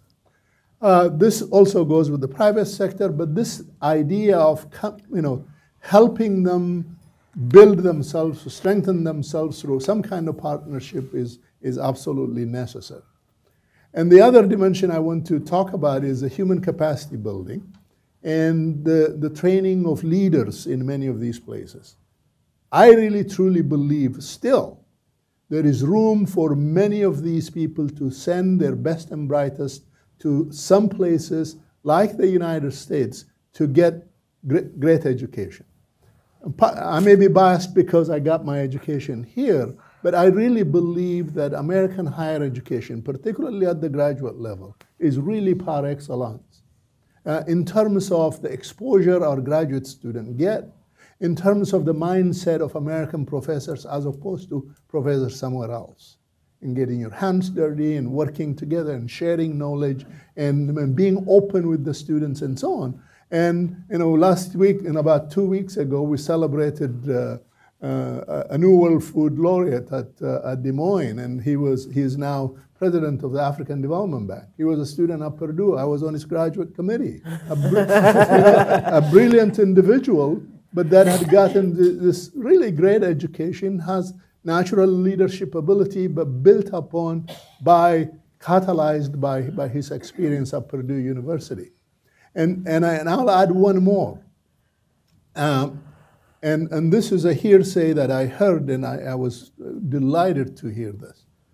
Some of you may know Ed Schuh, at university, uh, earlier at Purdue and then at Purdue University. Ed had an, a, a, young graduate student when he was at Purdue from, from Brazil. And he had worked with him very closely. But this guy was totally smitten, uh, really enamored by the land grant university principle that Ed Schuh had imparted on this young man. And so Ed Schuh had been work, going in and out of Brazil and working with through the University of Viçosa earlier, but had this person that he brought up and worked, in and this person is finishing his graduate degree and going back to Brazil. And this young man had the wherewithal at the time to go and speak to some of the leadership in Brazil. And at the time, he had some connection with the government. He went to and spoke to them. And he said that if you really want to transform Brazilian agriculture once and for all, you really need to adopt the land grant university model of the US, USA, uh, the US government, US universities. But it needs to start with an aggressive campaign on human capacity development. And so, on, as it turned out, on the advisement, this young person who had just returned with a fresh PhD to, to Brazil, actually the military government of Brazil at the time accepted his advice, went to the World Bank, took a loan to send out 10,000 Brazilians to create Embrapa. The organization now is the engine of change in, in, in Brazil. So this, those 10, Purdue University was involved in working through the logistics for them for sending out these 10,000. I was a graduate student at the time at Purdue. And so 10,000 students went back to create the miracle that it is that America uh, and Brazilian agriculture today. So human capacity building is the foundation for agricultural transformation.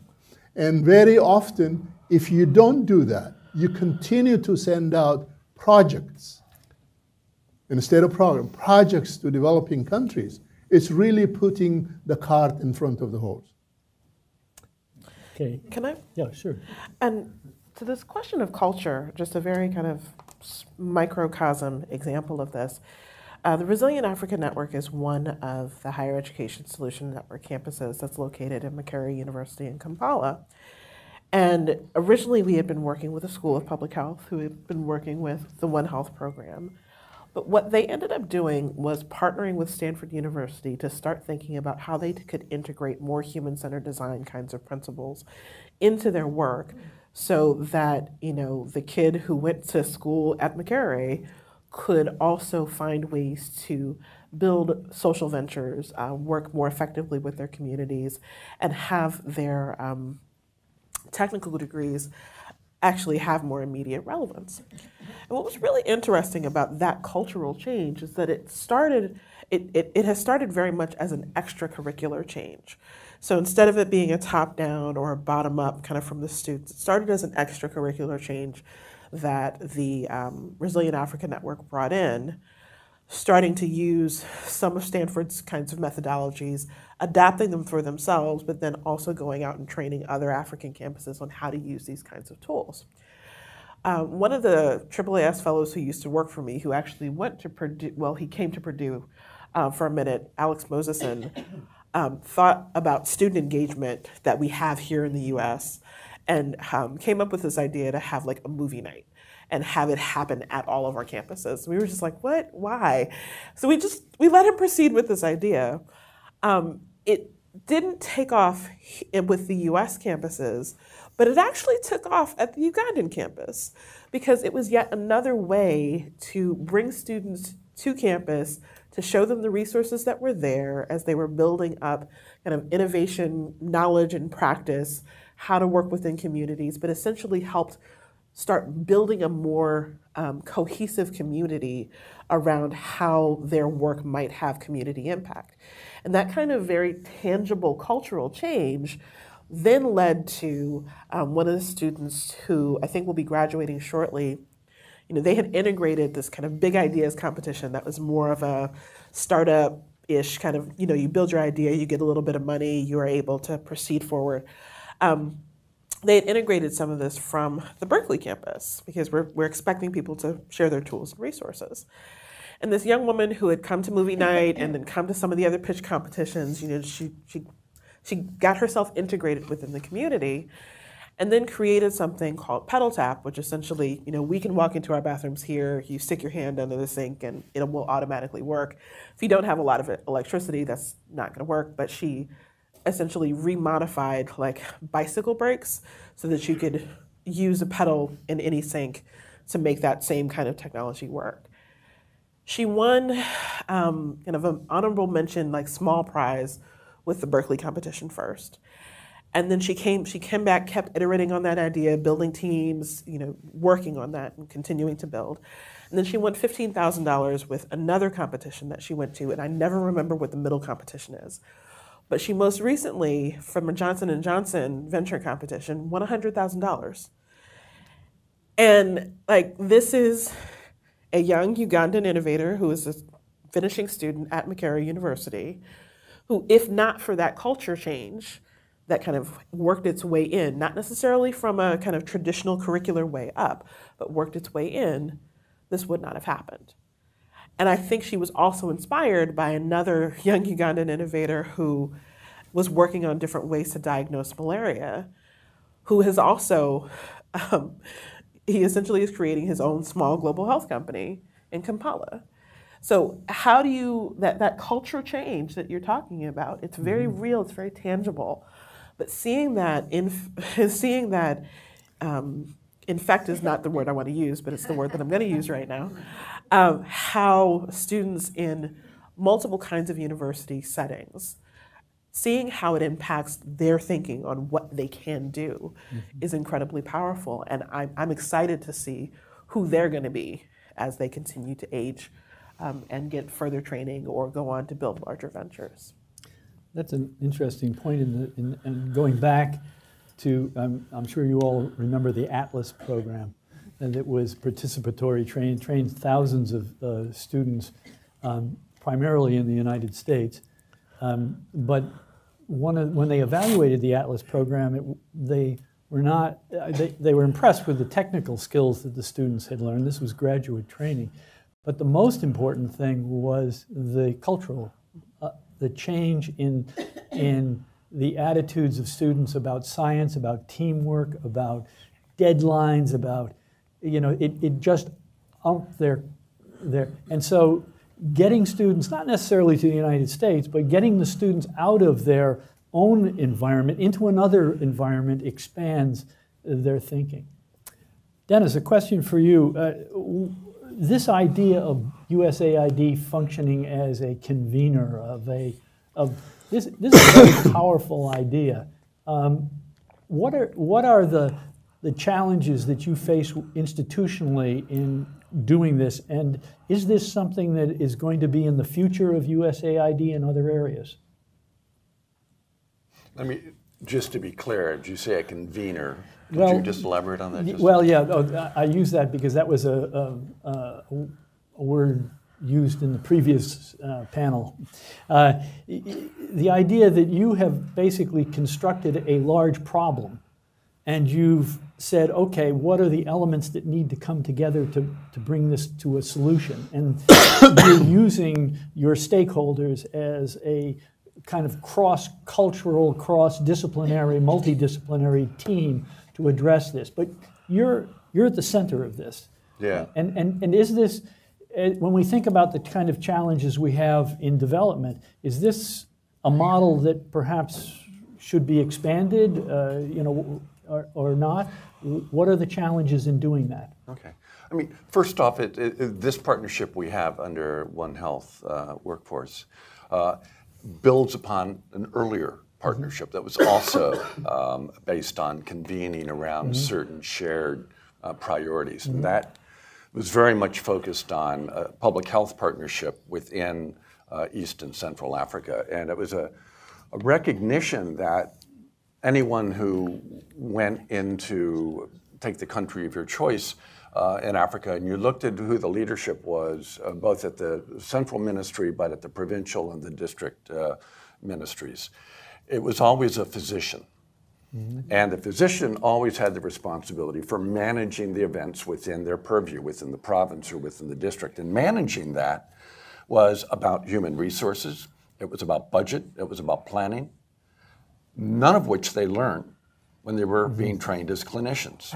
so we frequently found the biggest single problem was a mix, mismatch of skill sets, that they did not have fundamental public administration skills, which is really what they needed to have. Sounds Uh, like university administrators.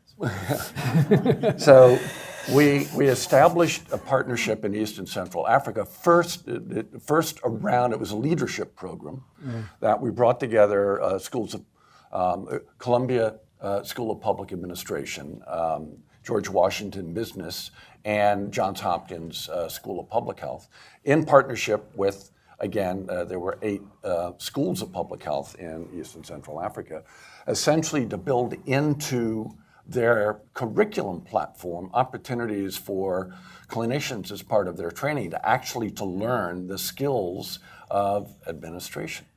Um, but it was in 2005 or 2000, no, 2009 as we were being challenged with um, the lack of proper skill sets um, around this issue about multisectoralism and health. We went back to those same partners and said, would you like to broaden the gauge? Would you like to invite beyond the School of Public Health? And would you like to channel this? So we used that as a springboard and then took it to uh, Asia. But the most fundamental um, sort of point was that what we were talking about was areas that were understood to be of high mutual interest. So it was not bringing a good idea. What it was was identifying a shared idea that was a high priority and then building the execution around that idea. One of the things that uh, we found that was the most exciting when we talked about US institutions being involved, what was really perceived as the most important contribution the US institutions was the whole area of experiential teaching. Mm-hmm. That both the, the, the, we worked at the dean level, and the deans and their faculty over and over again pointed out that their educational experience and how they taught was very much both in Asia and Africa didactic education, mm-hmm. right, by rote. And they understood that as a fundamentally flawed approach, certainly towards creating inquiring minds and mm-hmm. you know problem-solving skills. And so the biggest single attribute that the Tufts and Minnesota brings isn't so much their technical skills, it's their teaching modality. So mm-hmm. one part of our portfolio is creating a retraining of the faculty. How do they think? Mm-hmm. And how do they teach? And then how do you create a curriculum which is fundamentally experiential? That said, sure, I mean, you know, there is, when we think about the future and we think about Africa, we think about Asia, we think about Latin America, we think about anywhere, the world is evolving very rapidly in directions that our schools are not necessarily keeping pace with. So mm-hmm. anything we can do to put into place sort of an experiential problem-solving approach mm-hmm. that is looking across time horizons. It's not just what's the problem of today, but it's mm-hmm. also paying attention to those trends that have a predictability about. We know population, population pressures, we know economic growth and economic consequences. Mm-hmm. What do those mean for 2030, 2050? Um, so I, I think it's, it's, it's making sure that we understand not just what the present challenges are, what the future challenges are, and that we build a resilience into the educational model that allows it to be organic with respect to meeting this, forecasting and meeting those challenges. Excellent, excellent. Could I open this up to the audience? Yes. Do we have a, We don't need a, maybe we don't need a microphone. This is a- Say it hopefully- loudly hopefully it will then. be short. Yeah, you do. For the people in the back, they will. yeah. Yeah. AID does a lot of things, and, and we're, we're hearing some about it now. I'm a retired Foreign Service officer with uh, Global Health, and am incredibly proud of the work that Global Health has done over the last, let's say, 20 years. Uh, I've been out of AID for 10. Uh, there's been a lot of progress made. AID does lots of other things in agriculture and infrastructure and many different things. I am reminded by this panel, though, and particularly by the doctor sitting up here, even before I left AID, the participant training program was starting to diminish, and I haven't looked into it, but I think it's probably still going that way. So what I'd like to do is make, this is not a question, it's a suggestion to the USAID Alumni Association, and it is that the Alumni Association, with the connections that they have now in the present administration, it's too bad that Mark Green wasn't here, and the Congress, somebody invite this gentleman and send him up to the Congress and send him into Mark Green's office and have him play that tape that he just did this morning. And let's get the participant training program back going again.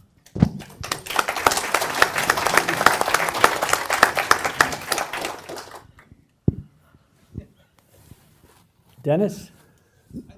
I'd like to follow up a little bit more specifically on that very good question, I think. And my, my question really to you that, that work particularly with those on the Hill is given, Tag, you were talking, Dennis Weller uh, just retired from Ethiopia uh, last year, so we've got a, a few things in common with the panel up here. But the question is, what are you hearing on the Hill? If, if, if university partnerships are such an important asset of ours, uh, the United States, what what are the real barriers to to Congress and the administration, and a, not, notwithstanding the, the innovation labs that have, have, increased and the, the work on the One Health, what are the real barriers to actually increasing the demand for more of these kind of programs, particularly by Congress, who funds us, uh, sort of thing? And why can't we get more oomph out of uh, uh, Dr. Gebisa, your, your, your sort of story out there? Uh, and you're up on the Hill quite a bit, so I'd like to hear a little bit about that. Um, well, uh, on the Hill, frankly, there's you get good support. Um, I think uh, there is a tension, frankly, in the education uh, portfolio between, unfortunately, basic education and higher education. Basic education is funded at a fairly high level, close to about a billion dollars a year. Um, and that's a, no one is against basic education. Uh, the question uh, and the argument we make is that basic education is producing a lot of people who frankly want to go to higher education, and higher education is having a very difficult time accepting them. Um, and if you don't think of education as a pipeline, then uh, you lose the power of education. You can't run a country on an eighth grade education, or at least run it well. And, and uh, so there's a lot of, there's a, there's a fair amount of, of uh, support for that on the Hill.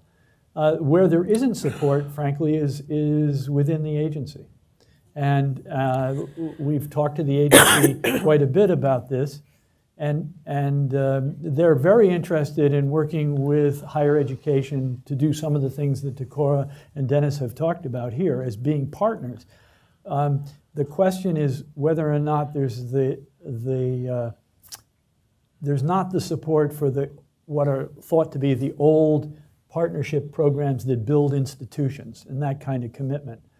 And uh, the question is what kinds of new models can emerge that are acceptable uh, for building institutional capacity. And that's, a, uh, that's something that we've tried to discuss with the agency uh, at large. But um, it's a work in progress. May I? Sure. Um, I think the, there's definitely the recognition that the human and institutional capacity development elements are, are critical to that. But kind of the, the, the tension, as Tag was talking about, is also a timing tension. And so, you know, how long does it take to do participatory training? And those of us who are in the programming spaces are being given compressed timelines mm-hmm. and higher expectations. So if you'd like to talk to people about how to extend those timelines and think, you know, long term horizon, like that'd be great. Uh, because you know, I th- it took me five years to finish a PhD. Like that's what it takes. Um, it takes two to three years to finish a master's. It takes four year, four to five years to get through undergrad, and when when you have that longer term commitment, it makes it much easier to plan around those kinds of things.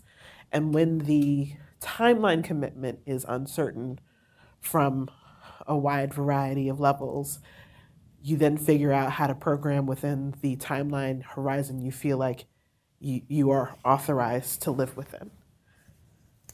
In the back? The very practical point from is Uh. it, how do you how do we support things that are fundamental to development but that are long term and their impact is diffuse? Uh-huh. How do you measure the impact of a PhD? Well, if you look at a person for 30 years, you can measure that impact. Um, the problem is that often um, y- programs be you know within the metrics environment, uh, you can you become what you can measure. And, and that's a real tag. Yeah. Uh, just for the benefit of the, the two people that asked the question, let me say briefly this. When I joined the BIFAD board, the day that we were sworn in, uh, Dr. Shah, whom I knew, I've worked with before, served as an advisor to him for a year before being appointed to BIFAD board, knew where I stood with this agenda. I indicated to the board, if this board would look at this agenda of HICD and gave me a recommendation, I'll find a path to it. And we, we took that. I was designated a chair on the subcommittee on the BIFAD. We did a study, we commissioned a study, and worked with APLU, put together uh, an analysis of where we stood, where, where, where, where things were, where, where they are now along the path that you described. Uh, and and the unfortunate part is, um, you know, it didn't find a path within the agency to move out of the agency to to where support could be asked for through. Uh, there was there was a, a, it was raised when the Food Security Act was being considered, but but tacking it at that stage didn't make sense and it wasn't done. But so there is serious understanding and appreciation, even within the agency, about the need there, but somehow it, it hung up there. I just wanted to, to say that. One a couple of uh, follow-ons. Um, uh, I served in Brazil twice, uh, 20 years apart, and when I went back the second time, uh, I looked at, talked to people from the institutions we had been supporting in my first, when I was there as a first tour. And they weren't all university to university programs. Some of these, we had a program with the fire service, uh, USDA's fire service here with the Brazilian fire service. And I talked to a guy uh, in the second round and said, well, you know, you, you have any st- contacts still with the Forest Service? He said, yeah, I go back every four or five years to Montana where the guy who trained me is, and I go back there and I get all the manuals. I get the new manuals, I get the materials, and I get some equipment, and I carry it back to Brazil, and I use it for training. I translate it into Portuguese, and I use it for training there. And these programs have continued over the years. For the uh, university to university programs, there are many different changes than what we had in those days.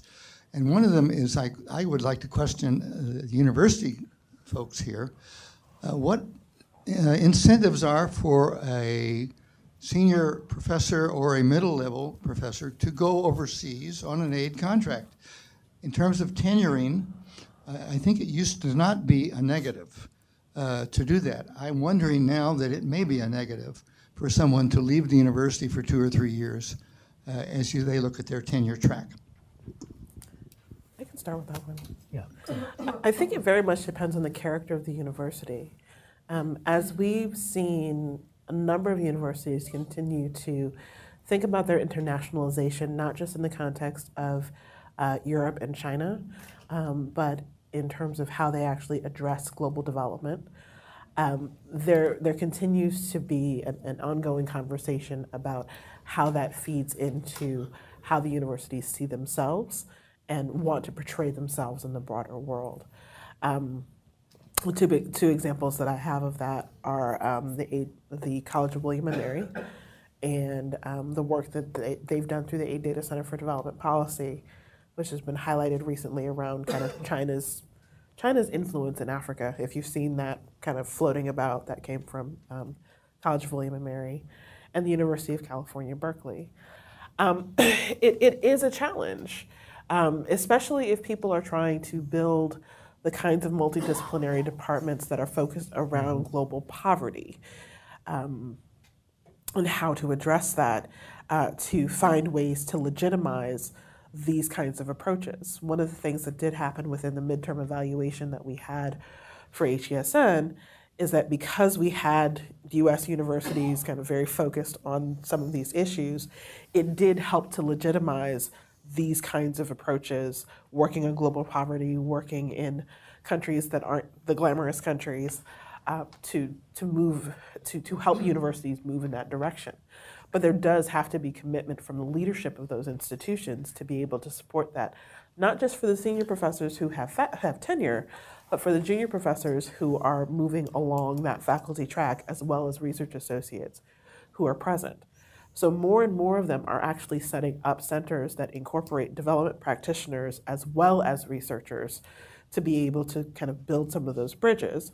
Because if you have someone who's a development practitioner who might have come from one of our former implementing partners, um, who's there to kind of massage the country to country relationships, and then they're bringing in the faculty and professors to to some of those other relationships and helping helping them move those things along you're not just counting on the ability of that singular professor to be able to make those relationships work but ultimately have impact either. So the ways in which universities are bringing together different types of people around these issues i think continues to evolve. Yeah.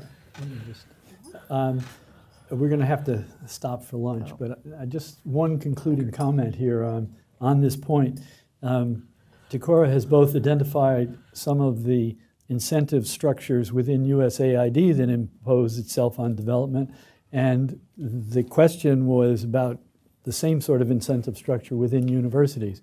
And that's one of the big challenges, frankly, to the kind of work that Dennis is doing uh, the kind of work that, that Gebisa would like to see is how do we change the incentive structure uh, within our organizations so that we can do the things that are actually fundamental to development. Nobody argues against human capital, but if USAID can't do real human capital development because of the incentive structure, then the question is how do you change the incentive structure? And if universities can't participate fully in development because of their incentive structures, how do we change our university structure? And I think those are challenges, frankly, a great challenge for you from the, uh, and a great challenge for us at APLU. And that's what, why we, we uh, titled our food security report The Challenge of Change. So, thank you. Thank you, all of you, TAG and all, for another wonderful and probing uh, discussion. We really, really appreciate it. And and maybe if there folks have some questions, if you might stick around for a little while, they they may. Uh, come up to you. I'm afraid that the grumbling stomachs, rumbling stomachs, might overpower right now. So we need to we need to break for lunch. Um, I uh, lunch uh, is uh, across that. Is that there? Oh, sorry, it's this way. Follow the ar- aroma. And um, please don't forget if you want to put forward a question for the administrator, um, there are uh, three by five cards out where the handouts are, and write out your question and give it either to George Ingram if you know him. Oh, a box for it now. Just drop it in the box and. One o'clock. Okay? So back here by two. All right, but but our next our next uh, program starts at two o'clock. So please be in the seats by then. Okay. Thank you.